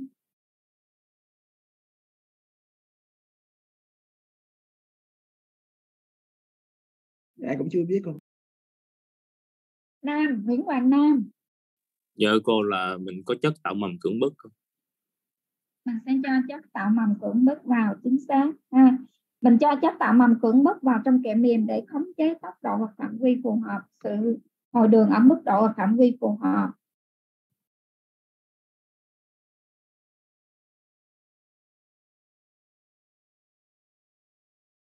rồi một câu tiếp theo.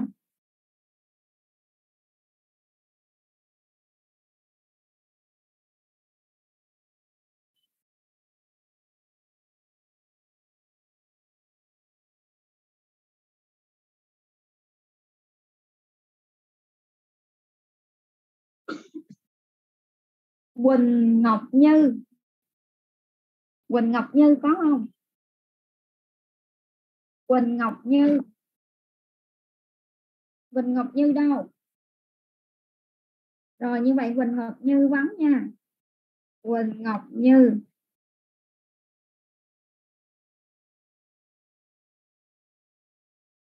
Đoàn Thị Ngọc Yến.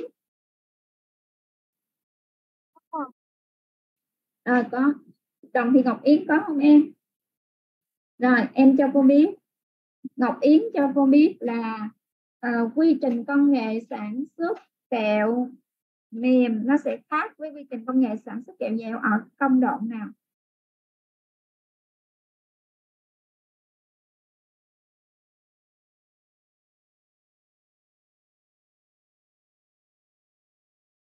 Đoàn Thị Ngọc Yến. Vậy Đoàn Thị Ngọc Yến vắng phải không? Dạ có, có. à, như vậy em trả lời đi. Mình mới vừa học xong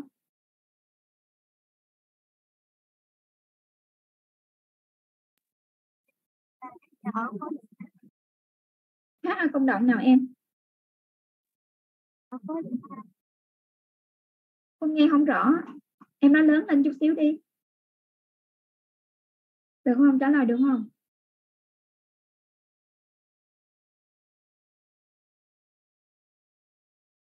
Nguyễn Phan Việt Hoàng Phan Việt Hàng Hoàng Phan Việt Hà Hoàng. Dạ. Rồi quy trình công nghệ sản xuất kẹo mềm khác với kẹo cứng ở chỗ nào? Ở công đoạn nào?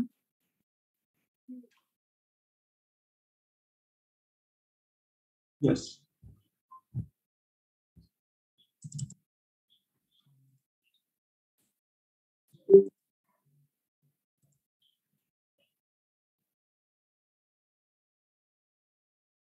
Phát Đạt. Đoàn Mai Phát Đạt dạ có em. Rồi em trả lời đi em. Kẹo mềm quy trình công dạ cô cho em. Cô cho em xin hỏi lại câu hỏi luôn cô. Quy trình công nghệ sản xuất kẹo mềm nó khác với quy trình công nghệ sản xuất kẹo cứng chỗ nào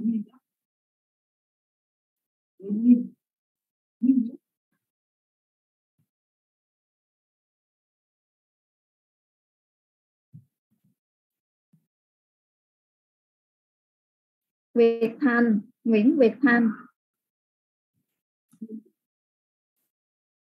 Việt Thành có không?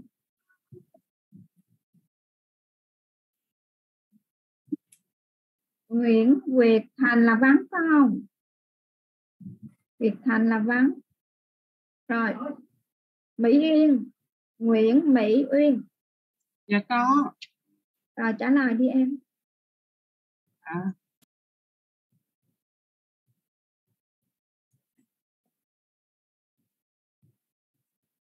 Nam Nguyễn Hoàng Nam.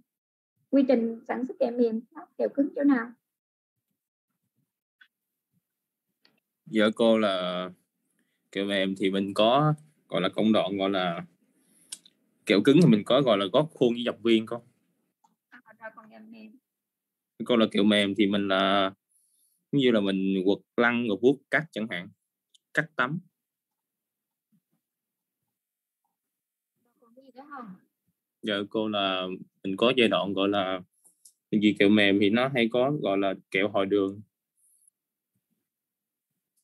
Mình nói về quy trình công nghệ thôi các bước trong công quy trình thôi. Dạ tại Thì- vì cái cái quy trình bây giờ em cũng không có nhớ lại cô. Rồi ngay chỗ à, thứ nhất là công đoạn tạo hình.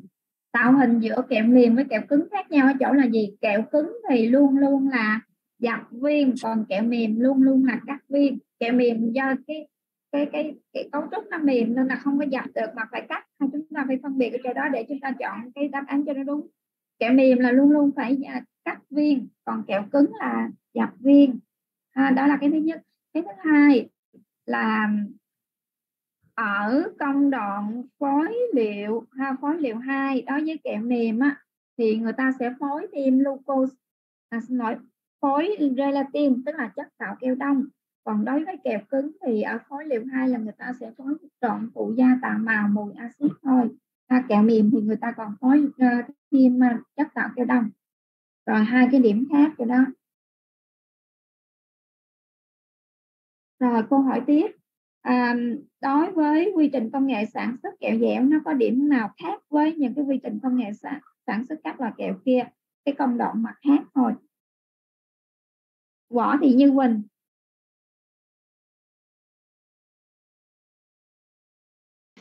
Dạ có. Dạ là ổn định cấu trúc. à, chính xác ổn định cấu trúc ha công đoạn ổn định cấu trúc là để à, mục đích của công đoạn ổn định cấu trúc là gì như quỳnh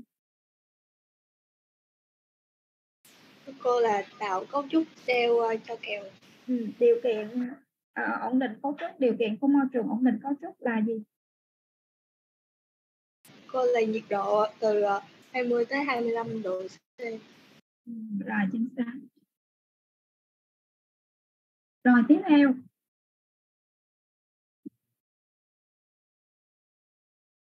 Cấu trúc của kẹo cứng là cấu trúc gì? Nguyễn Quỳnh như ý.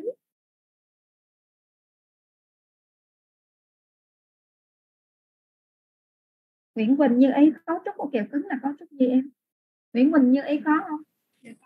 Rồi cấu trúc gì em? Cấu trúc của kẹo cứng là cấu trúc gì?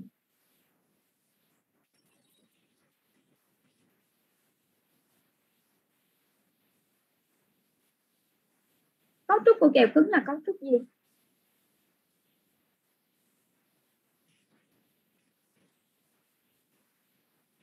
Cao thì kim yến. Dạ. trả lời đi em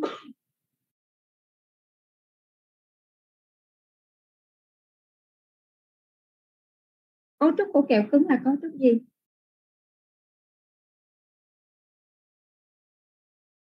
Trần Ngọc Mai. Dạ có. trả lời đi em. Dạ thưa cô là cấu trúc vô định hình. đúng rồi cấu trúc vô định hình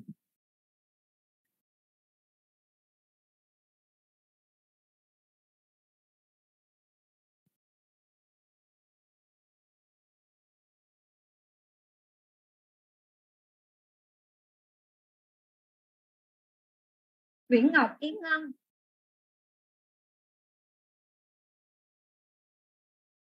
Yến Ngân có không? Viễn Dạ Ngọc có em cô ơi.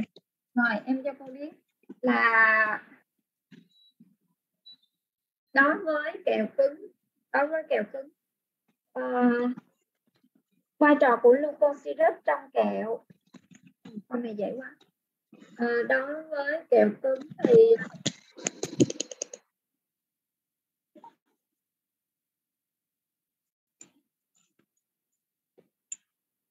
à, quá trình quật em trả lời câu này đi quá trình quật sẽ diễn ra đó với những lời kẹo nào?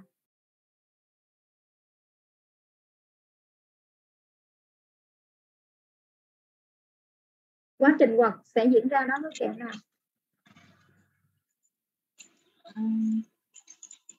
Kim cương trần ngọc kim cương.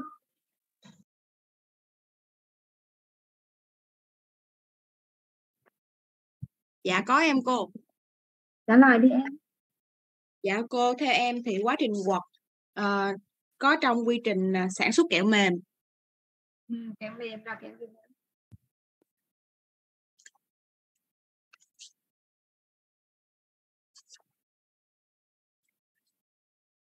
kẹo gì nữa kẹo cứng có không Dạ kẹo cứng có cô.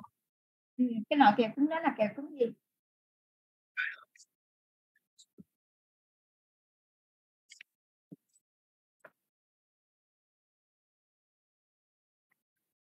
cái loại kẹo cứng đó là kẹo cứng gì?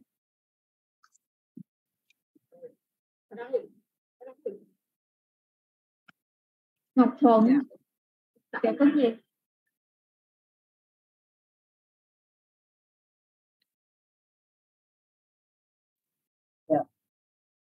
Kẹo cứng đó là kẹo cứng gì? Ngọc thuận phải không có em ạ. Kẹo cứng đó là kẹo cứng gì thuận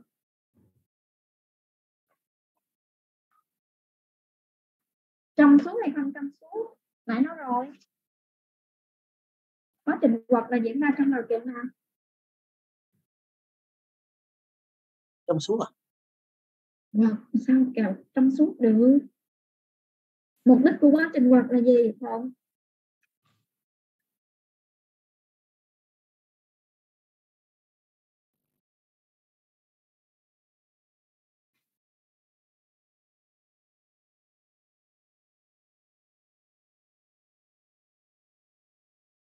Dạ Mục đích của quá trình quật là làm khối kẹo nó xốp có màu sáng.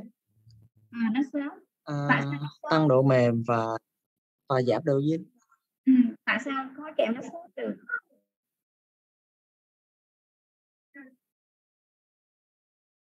Tại sao khi quật thì có kẹo nó sốt lên? Là do có sự sát nhập của không khí. Sự sát nhập của không khí làm cho có kẹo nó sốt lên. Như vậy thì kẹo nó sẽ nó sẽ đục chứ nó không có trong. Ha. À, tóm lại cái quá trình quật dùng để sản xuất loại kẹo mềm và kẹo cứng không trong suốt ha có nghĩa là kẹo cứng đục ha. Rồi.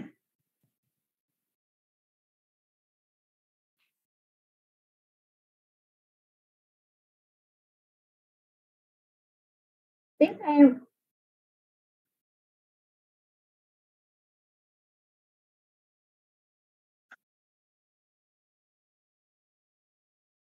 Bảo trang quách bảo trang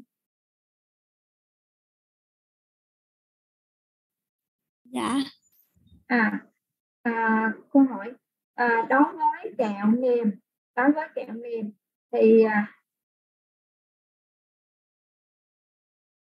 đối với kẹo mềm thì khi nấu kẹo nồng độ chất khô của kẹo mềm nằm trong cái khoảng nào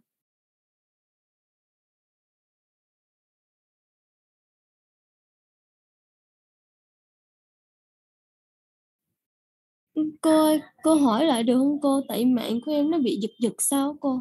ừ, chất khô trong kẹo mềm nằm trong cái khoảng nào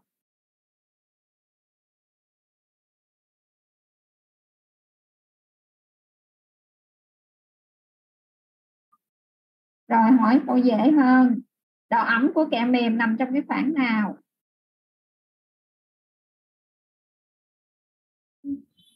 Dạ, độ ẩm nằm tầm 5 đến 7 phần trăm ạ. à, 5 đến 7 phần trăm vậy chất khô nằm trong khoảng bao nhiêu Chắc cô 95 ạ. 95 đến 9 mấy 95 đến 93 đến 93 đến 95 phần trăm. rồi ok à, một câu nữa một câu nữa là đối với kẹo mềm. À không chuyển qua kẹo cứng đi.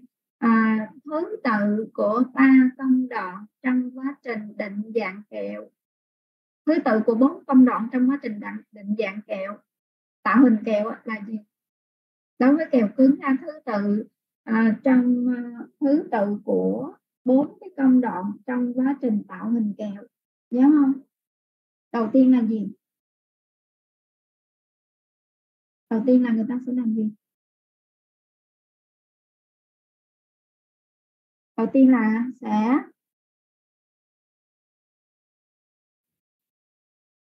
sẽ làm gì?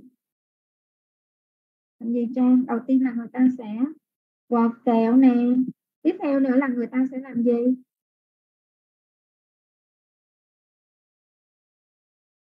Tiếp theo nữa là làm gì? Quạt kẹo rồi làm gì nữa? Vuốt dạ vuốt à. Quạt sao vuốt? Lăn côn. Lăn Lăn. đúng rồi lăn kẹo rồi sau đó là mới vuốt kẹo vuốt kẹo thì cắt dây ha cắt dây hay là cắt viên? À hay là dập viên? Ha. rồi chú ý ha. Rồi à,